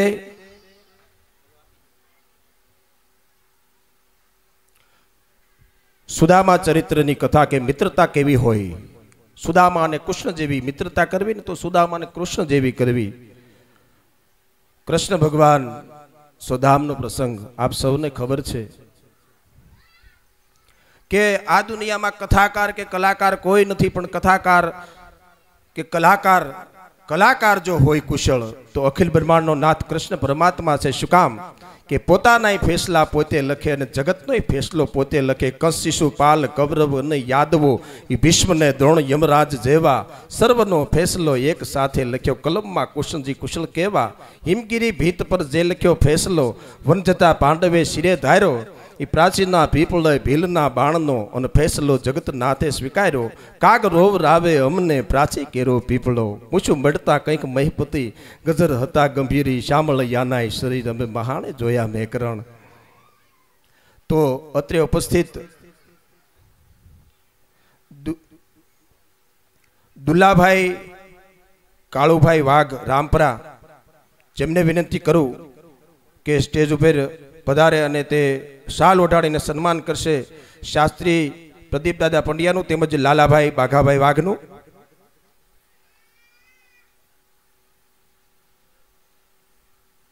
બોલે કૃષ્ણ કનૈયા, લાલ કી જય, સુવાય માત કી જય. પિતૃનારાયણ ભગવાન કી જય. લાલાભાઈ બાઘાભાઈ વાઘ એમનું શાલ ઓઢાડીને સન્માન કરશે દુલાભાઈ, કાળુભાઈ વાઘ રામપરા તેમજ શાસ્ત્રી પ્રદીપ દાદા પંડ્યા એમનું સન્માન કરશે દુલાભાઈ, કાળાભાઈ વાઘ રામપરા તેમજ લાલાભાઈ, બાઘાભાઈ વાઘ એમનું શાલ ઓઢાડી અને સન્માન કરશે બાબુભાઈ ગિરનારી રામપરા. તો બાબુભાઈ ગિરનારીને વિનંતી કરું કે વ્યાસપીઠના સ્ટેજ ઉપર પધારે. અને લાલાભાઈ બાઘાભાઈનું શાલ ઓઢાડી અને સન્માન કરે. જોરદાર તાળીના ગડગડાટ સાથે આપશો વધાવીએ. બોલીએ કૃષ્ણ કનૈયા, લાલ કી જય, ભાગવત ભગવાન કી જય. તેમજ અત્રે ઉપસ્થિત જૂની પાર પટોળી ગામથી પધારેલા આહિર સમાજના તેમજ વાઘ પરિવારના બારોડદેવ દડુભાઈ, આપાભાઈ તેમજ દિનેશભાઈ લક્ષ્મણભાઈને હું વિનંતી કરું કે સ્ટેજ ઉપર પધારે. અમર થવાની ઔષધિ શોધી જુઓ સંસાર. બાપલ કે બીજી નહીં કા કવિન, કા કીર્તાર. જગતના ચોકમાં અમર થવું હોય તો કાયમની માટે અમર કરી શકે. તો એક કૃષ્ણ પરમાત્મા છે, કાયમની માટે અમર કરી શકે. અને એક કવિ કાયમની માટે અમર કરી શકે. એ દડુભાઈ આપાભાઈ તેમજ દિનેશભાઈ લખપણભાઈ એમનું સન્માન કરશે. લાલાભાઈ બાઘાભાઈ વાઘ તેમજ શિવાભાઈ બાઘાભાઈ વાઘ શાલ ઓઢાડી ફૂલહારથી સન્માન કરશે. બોલીએ, કૃષ્ણ કનૈયા લાલ કી જય સ્વાય માત કી જય, રામદાસ બાપુની જય, લાલદાસ બાપુની જય, ભાગવત ભગવાનની જય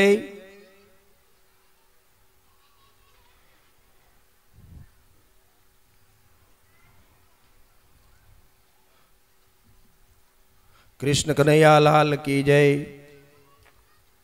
ભાગવત ભગવાન કી જય.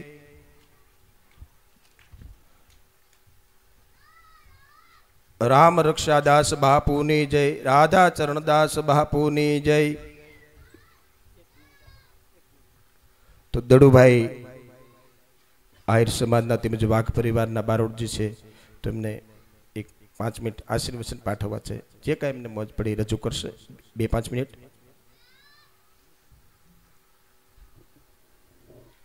કૃષ્ણ આવ્યા તા કોળથી નંદ ઘરે નરવીર, જવાહર હાચા જગતમાં અલબેલા આહિર નંદે નટવરને રાખ્યો. અકળ કૃષ્ણ અવતાર, આહિર મુખ અવળું કરે તો ભૂમિ ન જીલે ભાર. ધન ધન ધાતર વડી, ધન્ય રામપરા ગામ. રંગ યોગી રામદાસને ધર્મ રસાયવું ધામ. પાય લાગે દડું પ્રેમથી, નમાવી શરણમાં શીશ. આપો શુભ આશીષ, હાચા સંત રામદાસ. વાઘે ઠાકરો ભડપેટી વાળી દરખું માંગ આલંગ નાકે દક્ષાળી રીણો નાકે ધોકડ ઢાળી, પરસ બધીને કરવા પાળી. દેવાય તણા ખગ ધૂજે ગાંટો પાટ ધરા પર ઉજે, ધારી ગામને દેવળા ધ્રુજે. તો ગાવ ઝઘડાના કોઠા ગુંજે, જાહેર છોર જાણ્યો. ધીંગા સામે કરે ધીંગાણો, હુકળ યાદળ કાઢે. રીણો આવે રાત હોંકારે, માયતળ મૌવા તણું ભેડ કમલ ભાલે. બાલા બજારે ત્યાં દોડવ્યા દેવાઓત. હંદાયગર હાહતિયા નથી. આપણે હેઠાણ વાઘતાળી વાણ, કોઈ બરફાળી બાલિયા, બાલા તે બીજા તણા, હાકે હિમાડા, જાંગે જીત તણા. તું દેવા રસ દેવાઓત રાજોલું રાખત નહીં, ખાંડાવોત ખવે, ભોળો ભાળત નહીં ભવે પાસા બાવળ પૂંજલા.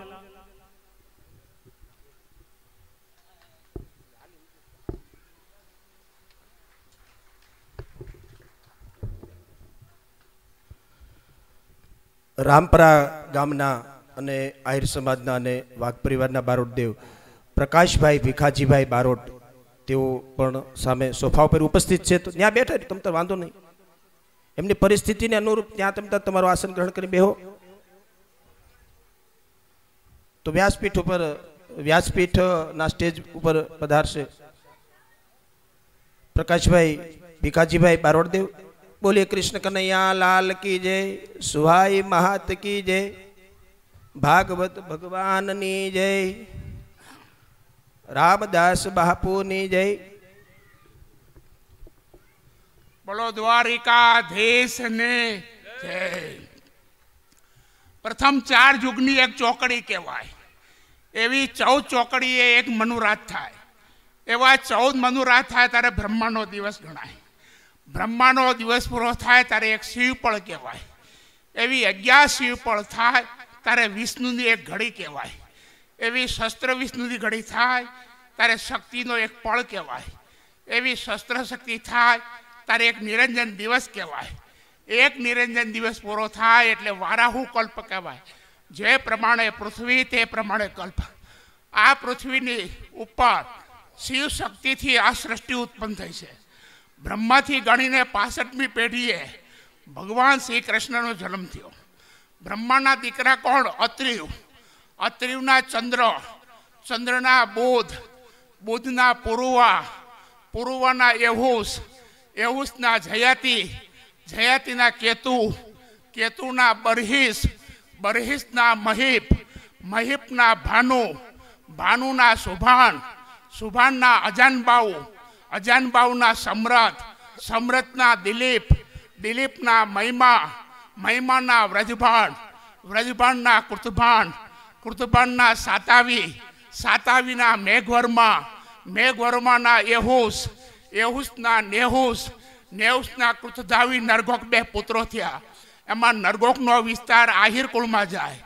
કૃતધાવીના ગોમ, ગોમના ગધરાવ ગધરાવના જયદેવ જયદેવના જયાતિ, જયાતિના જદુને કુરુ બે પુત્રો થયા. એમાં જદુના વંશમાં છપ્પન કોટી યાદવ થયા અને જદુના વંશમાં છપ્પન કોટી યાદવ થયા.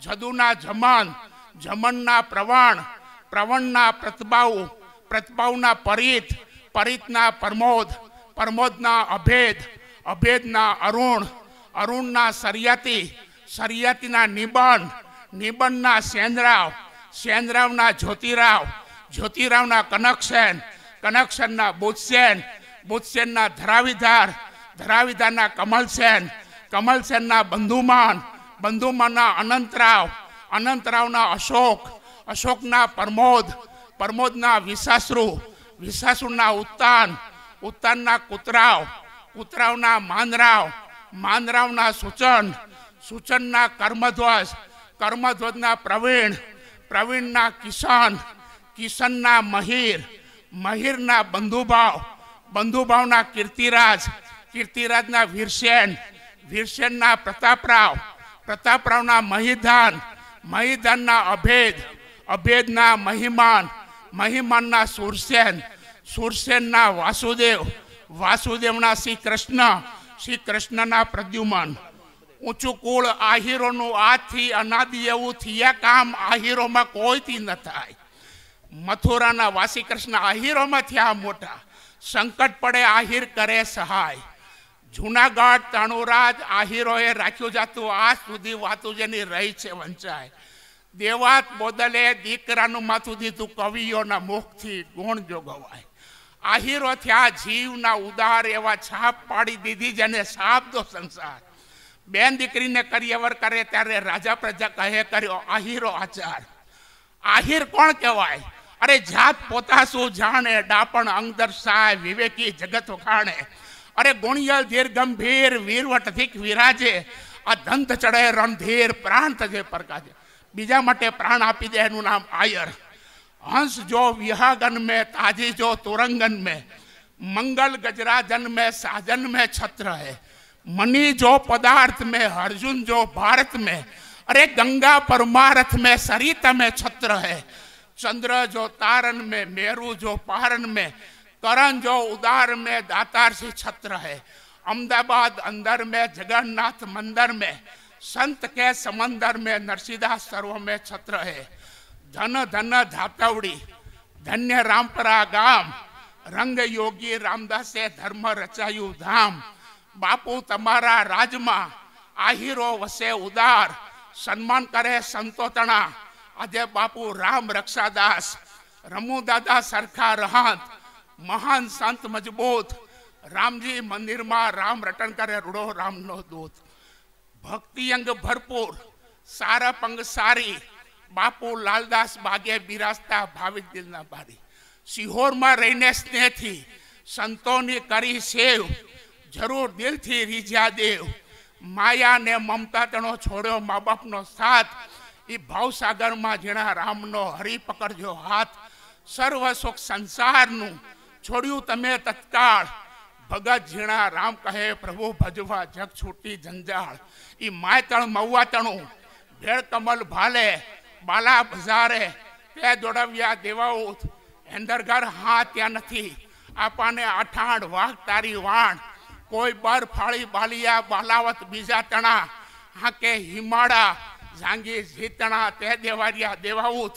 રાજુલુ રાખત નહીં, ખાંડાવત ખવે ઘોડો ભાળત નહીં ભવે પાસા પાવળ પૂંજલા વારે ગાયોની વીર, ઉઠ્યો ભડ આટાળ, લેવા પ્રાણ લાકાળ. બેઠો થયો બાલિયો, કર મર કર ગ્રહી દીધી નેહળિયા દોટ કાં તો લોઠે કસાઈનો લોટ, બાંધ્યો ખાગે બાલિયા.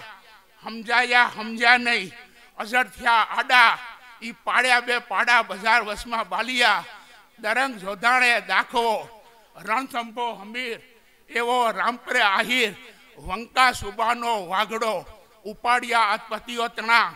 સજડી રફલને સાજ. લીધી ધીંગાણે લાજ વંકા ભોપાની વાગડા સી ક્રોધાળો રમા સતાણ. ડણક્યો ભડડા ઢાળ. તાતો શાસ્ત્ર કુંજ સોંઢાળ. વેગે જાતા વાગડા ઈ વાગે ઠાકરો ભડપેટી વાળી ધરકુમાં નાખે ધક્ષાળી આ રીણો નાખે ધોકટ ઢાળી, પરત બધીને કરવા પાળી. દેવા તણોખક દૂજે આટો પાટ ધરા પર ઉજે ધારી ગામને દેવડા દૂજે ગાતગડાના કોઠા ગુંજે. જય ચોરના ઘેરે જાણો, ધીંગા અમે કરે ધીંગાણો. હુકળિયા દસ કાઢે રીણો, રાત હોકારા આપે રીણો. હાઠો જે હિમાડા તણો, ભૂપે ભાંગે ના એવો કોપહાર રાવત તારો રીણ્યા. સુવાઈ માતાની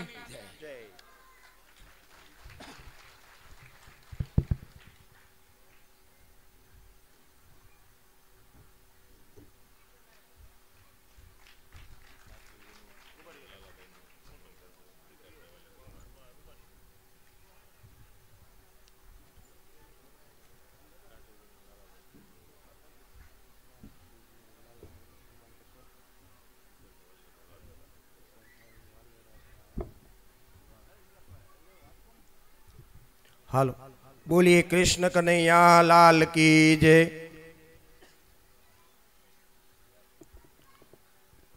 શાસ્ત્રીજી પ્રદીપ દાદા પંડ્યા અને તેમજ લાલાભાઈ બાઘાભાઈ વાઘ, એમનું સન્માન કરશે શાલ ઓઢાડી. જીકારભાઈ, વાલેરાભાઈ વાઘને હું વિનંતી કરીશ કે વ્યાસપીઠના સ્ટેજ ઉપર પધારે. અમને શાસ્ત્રીજી તેમજ લાલાભાઈ બાઘાભાઈ વાઘનું શાલ ઓઢાડીને સન્માન કરશે.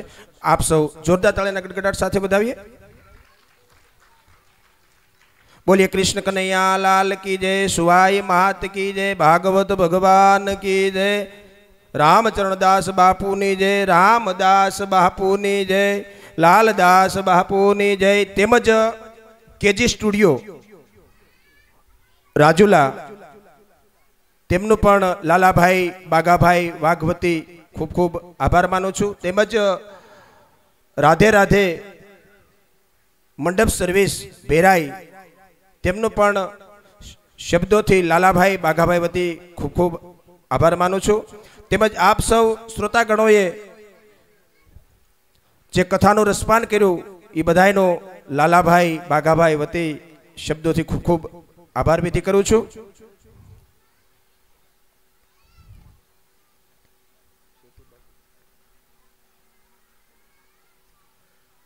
બોલીએ કૃષ્ણ કનૈયા લાલ કી જય.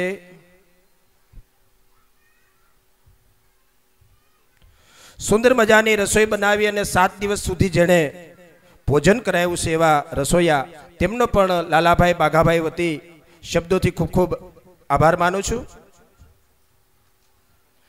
બોલીએ કૃષ્ણ કનૈયા, લાલ કી જય, ભાગવત ભગવાન કી જય, સુવાય મહાત કી જય.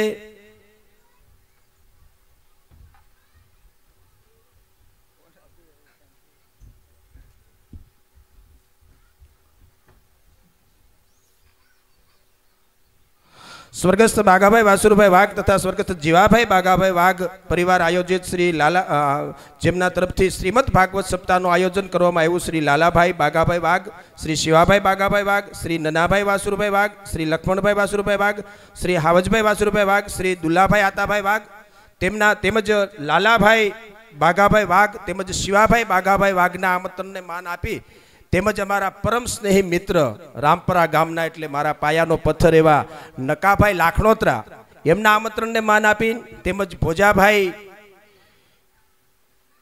વાઘ, એમના આમંત્રણને માન આપીને મેં જે કાંઈ આપને સમક્ષ મારી કાલી ગયેલી ભાષામાં સન્માન વિધિ કરી, જે કાંઈ હું બોલ્યો હું લોક ડાયરાનો કલાકાર છું એટલે મેં કાંઈ લોક ડાય, લોક સાહિત્યના ડબમાં આપ સૌનું સન્માન કર્યું હોય, આભાર વિધિ કરી હોય.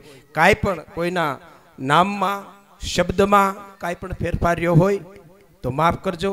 હરદેવ બારોટને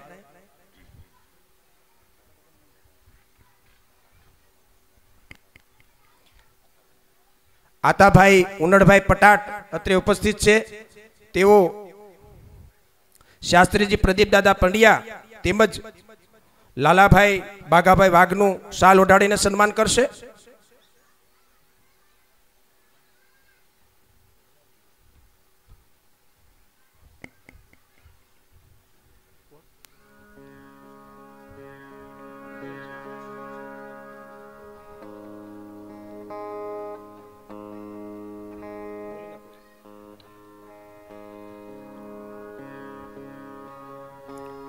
જેણે વ્યવસ્થામાં સારો એવો સાથ અને સહકાર આપ્યો છે બધાને મહેમાનોને આદરપૂર્વક જમાડવામાં ચા, પાણી એવા તમામ યુવાનો જેણે સાત દિવસ સુધી પૂરેપૂરી શ્રીમદ ભાગવત સપ્તાહ જ્ઞાન યજ્ઞનું જે આયોજન છે, એમાં પૂરેપૂરી તન મન ધનથી સેવા આપી છે, એ બધા યુવાનોને હું વિનંતી કરીશ. કે બધા વ્યાસપીઠના સ્ટેજ પર પધારે અને એમનું ફૂલહારથી સન્માન કરશે. શાસ્ત્રી શ્રીમદ ભાગવત સપ્તાહના શાસ્ત્રીજી પ્રદીપ દાદા પંડ્યા તેમના વરદસ તેમનું ફૂલહારથી સન્માન કરશે. બોલ્યો, કૃષ્ણ કનૈયા લાલ કે જે આપ સૌ યુવાનોએ જેણે જેણે વ્યવસ્થામાં સારો એવો સાથ અને સહકાર આપ્યો છે.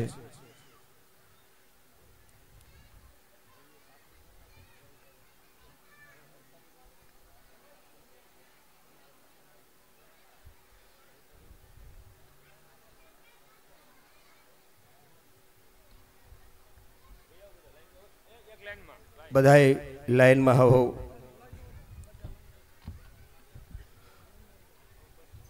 સુવાયમાં કૃષ્ણ પરમાત્માની એક અઢળક કૃપા કે એકદમ નિર્વિઘ્ને કોઈ પણ ને ઉની આંચ નહીં અને એકદમ સફળતાપૂર્વક પિતૃ મોક્ષાર્થે શ્રીમદ ભાગવત સપ્તાહનું આયોજન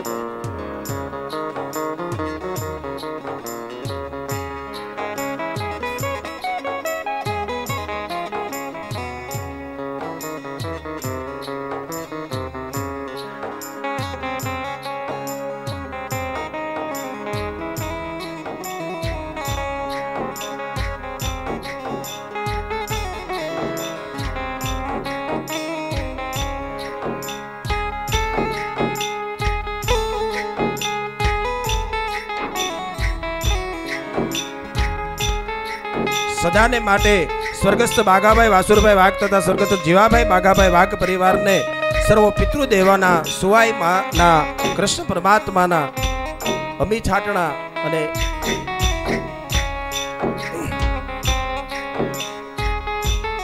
સદાયને માટે તેમના પરિવાર લાંબો આયુષ્ય ભોગવે, ઉત્તરોત્તર પ્રગતિ કરે, તેમજ તેમના પરિવારનું ગૌરવ વધારે એવી માં સુવાઈમાં પાહે, કૃષ્ણ પરમાત્મા પાહે ભાગવત ભગવાન પાસે પ્રાર્થના.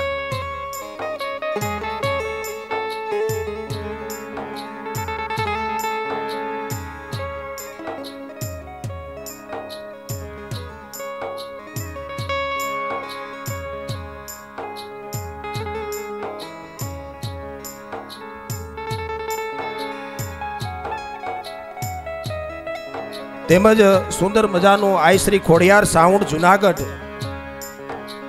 જેણે આપણા કાન સુધી આ શ્રીમદ ભાગવત સપ્તાહનો અવાજ પહોંચાડ્યો છે એવું સુંદર મજાનું ગૌરવતું સાઉન્ડ એમનો પણ લાલાભાઈ બાઘાભાઈ વતી ખૂબ ખૂબ શબ્દોથી હાર્દિક આભાર માનું છું.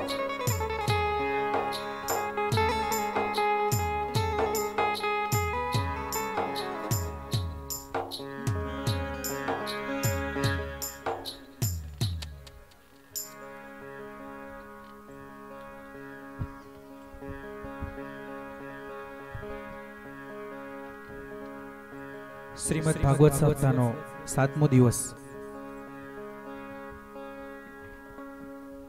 અમારા પ્રદીપભાઈ શાસ્ત્રીજીની ખાસ ફરમાઈશ છે કે અહીંયા જે યુવાનોએ એટલા દિવસ, સાત દિવસ સુધી ભાગવતજીની સેવા કરી છે, બધા જ રામપરાવાસીઓને. અમે એક છેલ્લો દસ મિનિટનો રાસ અમારા શાસ્ત્રીજીની ફરમાઈશ છે.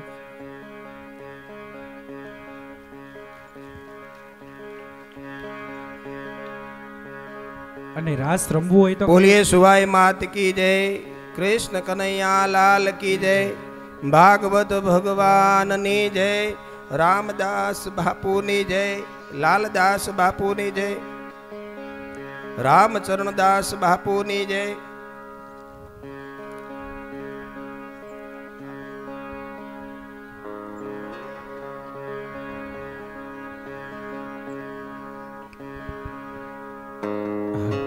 તમામ જે યુવાનોએ સારી એવી સુંદર મજાની વ્યવસ્થા સાથે જેને સેવા આપી છે, એમનું સન્માન થઈ રહ્યું છે ફૂલહારથી.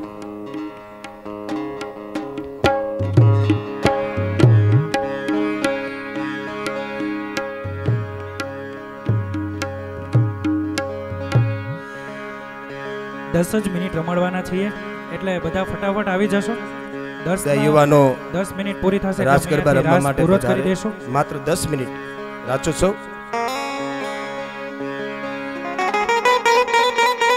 હે મારો.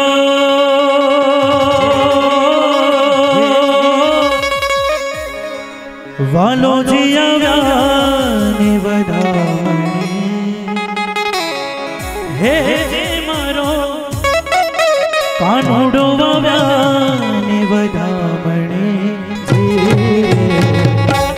આજ ઘડી રડિયા હે જે વાલા આજ જે ઘડે રડ્યા હો, આજ જે ઘડે રડ્યા હે જે વાલા આજ જે ઘડે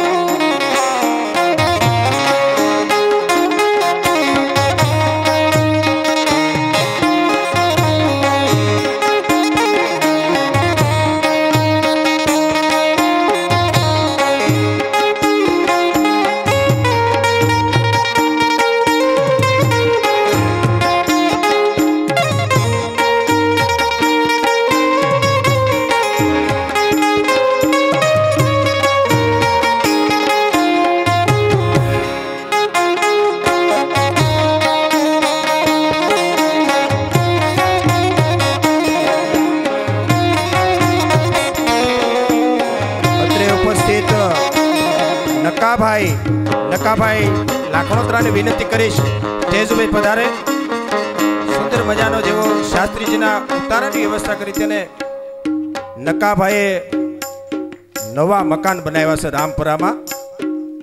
અને રાજુલામાં બે જગ્યાએ મકાન છે શિવસાયામાં તેમજ ધર્મરાજ સોસાયટીમાં. નકાભાઈ અહીંયા મકાન બનાવ્યું ને એટલે મેં એને વાત કરી મેં કીધું વાસ્તુ પૂજન મને કે મારે અહીંયા શાસ્ત્રીજીનો ઉતારો છે એટલે અમારે વાસ્તુ પૂજન કરવાની જરૂર નથી. વાસ્તુ થઈ ગયું મને. તો એ નકાભાઈને હું વિનંતી કરીશ સ્ટેજ ઉપર પધારે. નકાભાઈનું સન્માન કરશે. સાલ ઓઢાડે અને ફૂલહારથી લાલાભાઈ બાઘાભાઈ વાઘ. બોલીએ કૃષ્ણ કનૈયા, લાલ કી જય. ભાગવત ભગવાન કી જય. સુવાઈ માત કી જય. નારાયણ ભગવાન કી જય. રામદાસ બાપુની જય. લાલદાસ બાપુની Dama.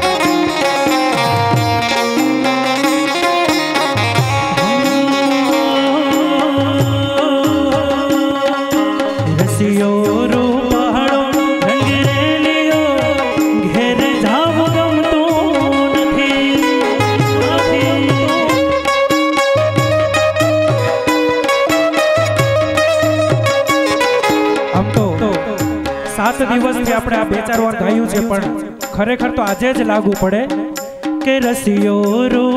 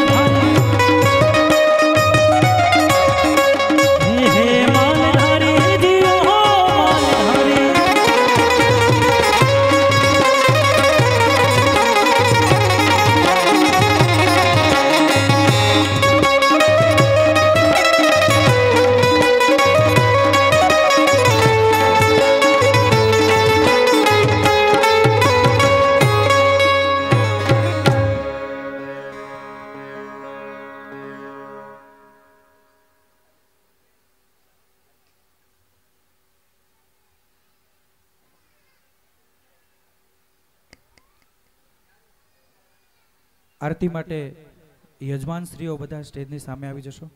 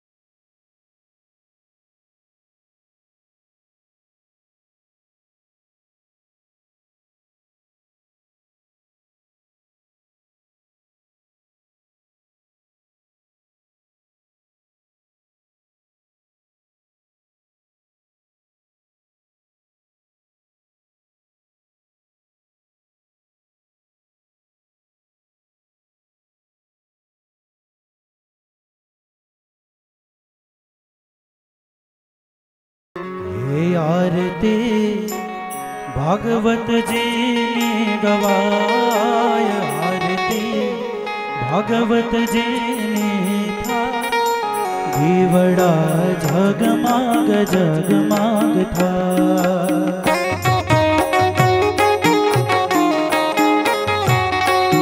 देवड़ा जगमाग जगमाग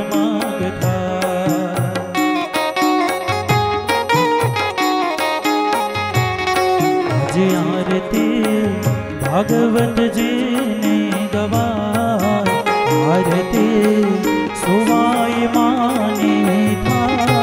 के देवड़ा जगमाग जगमाग था।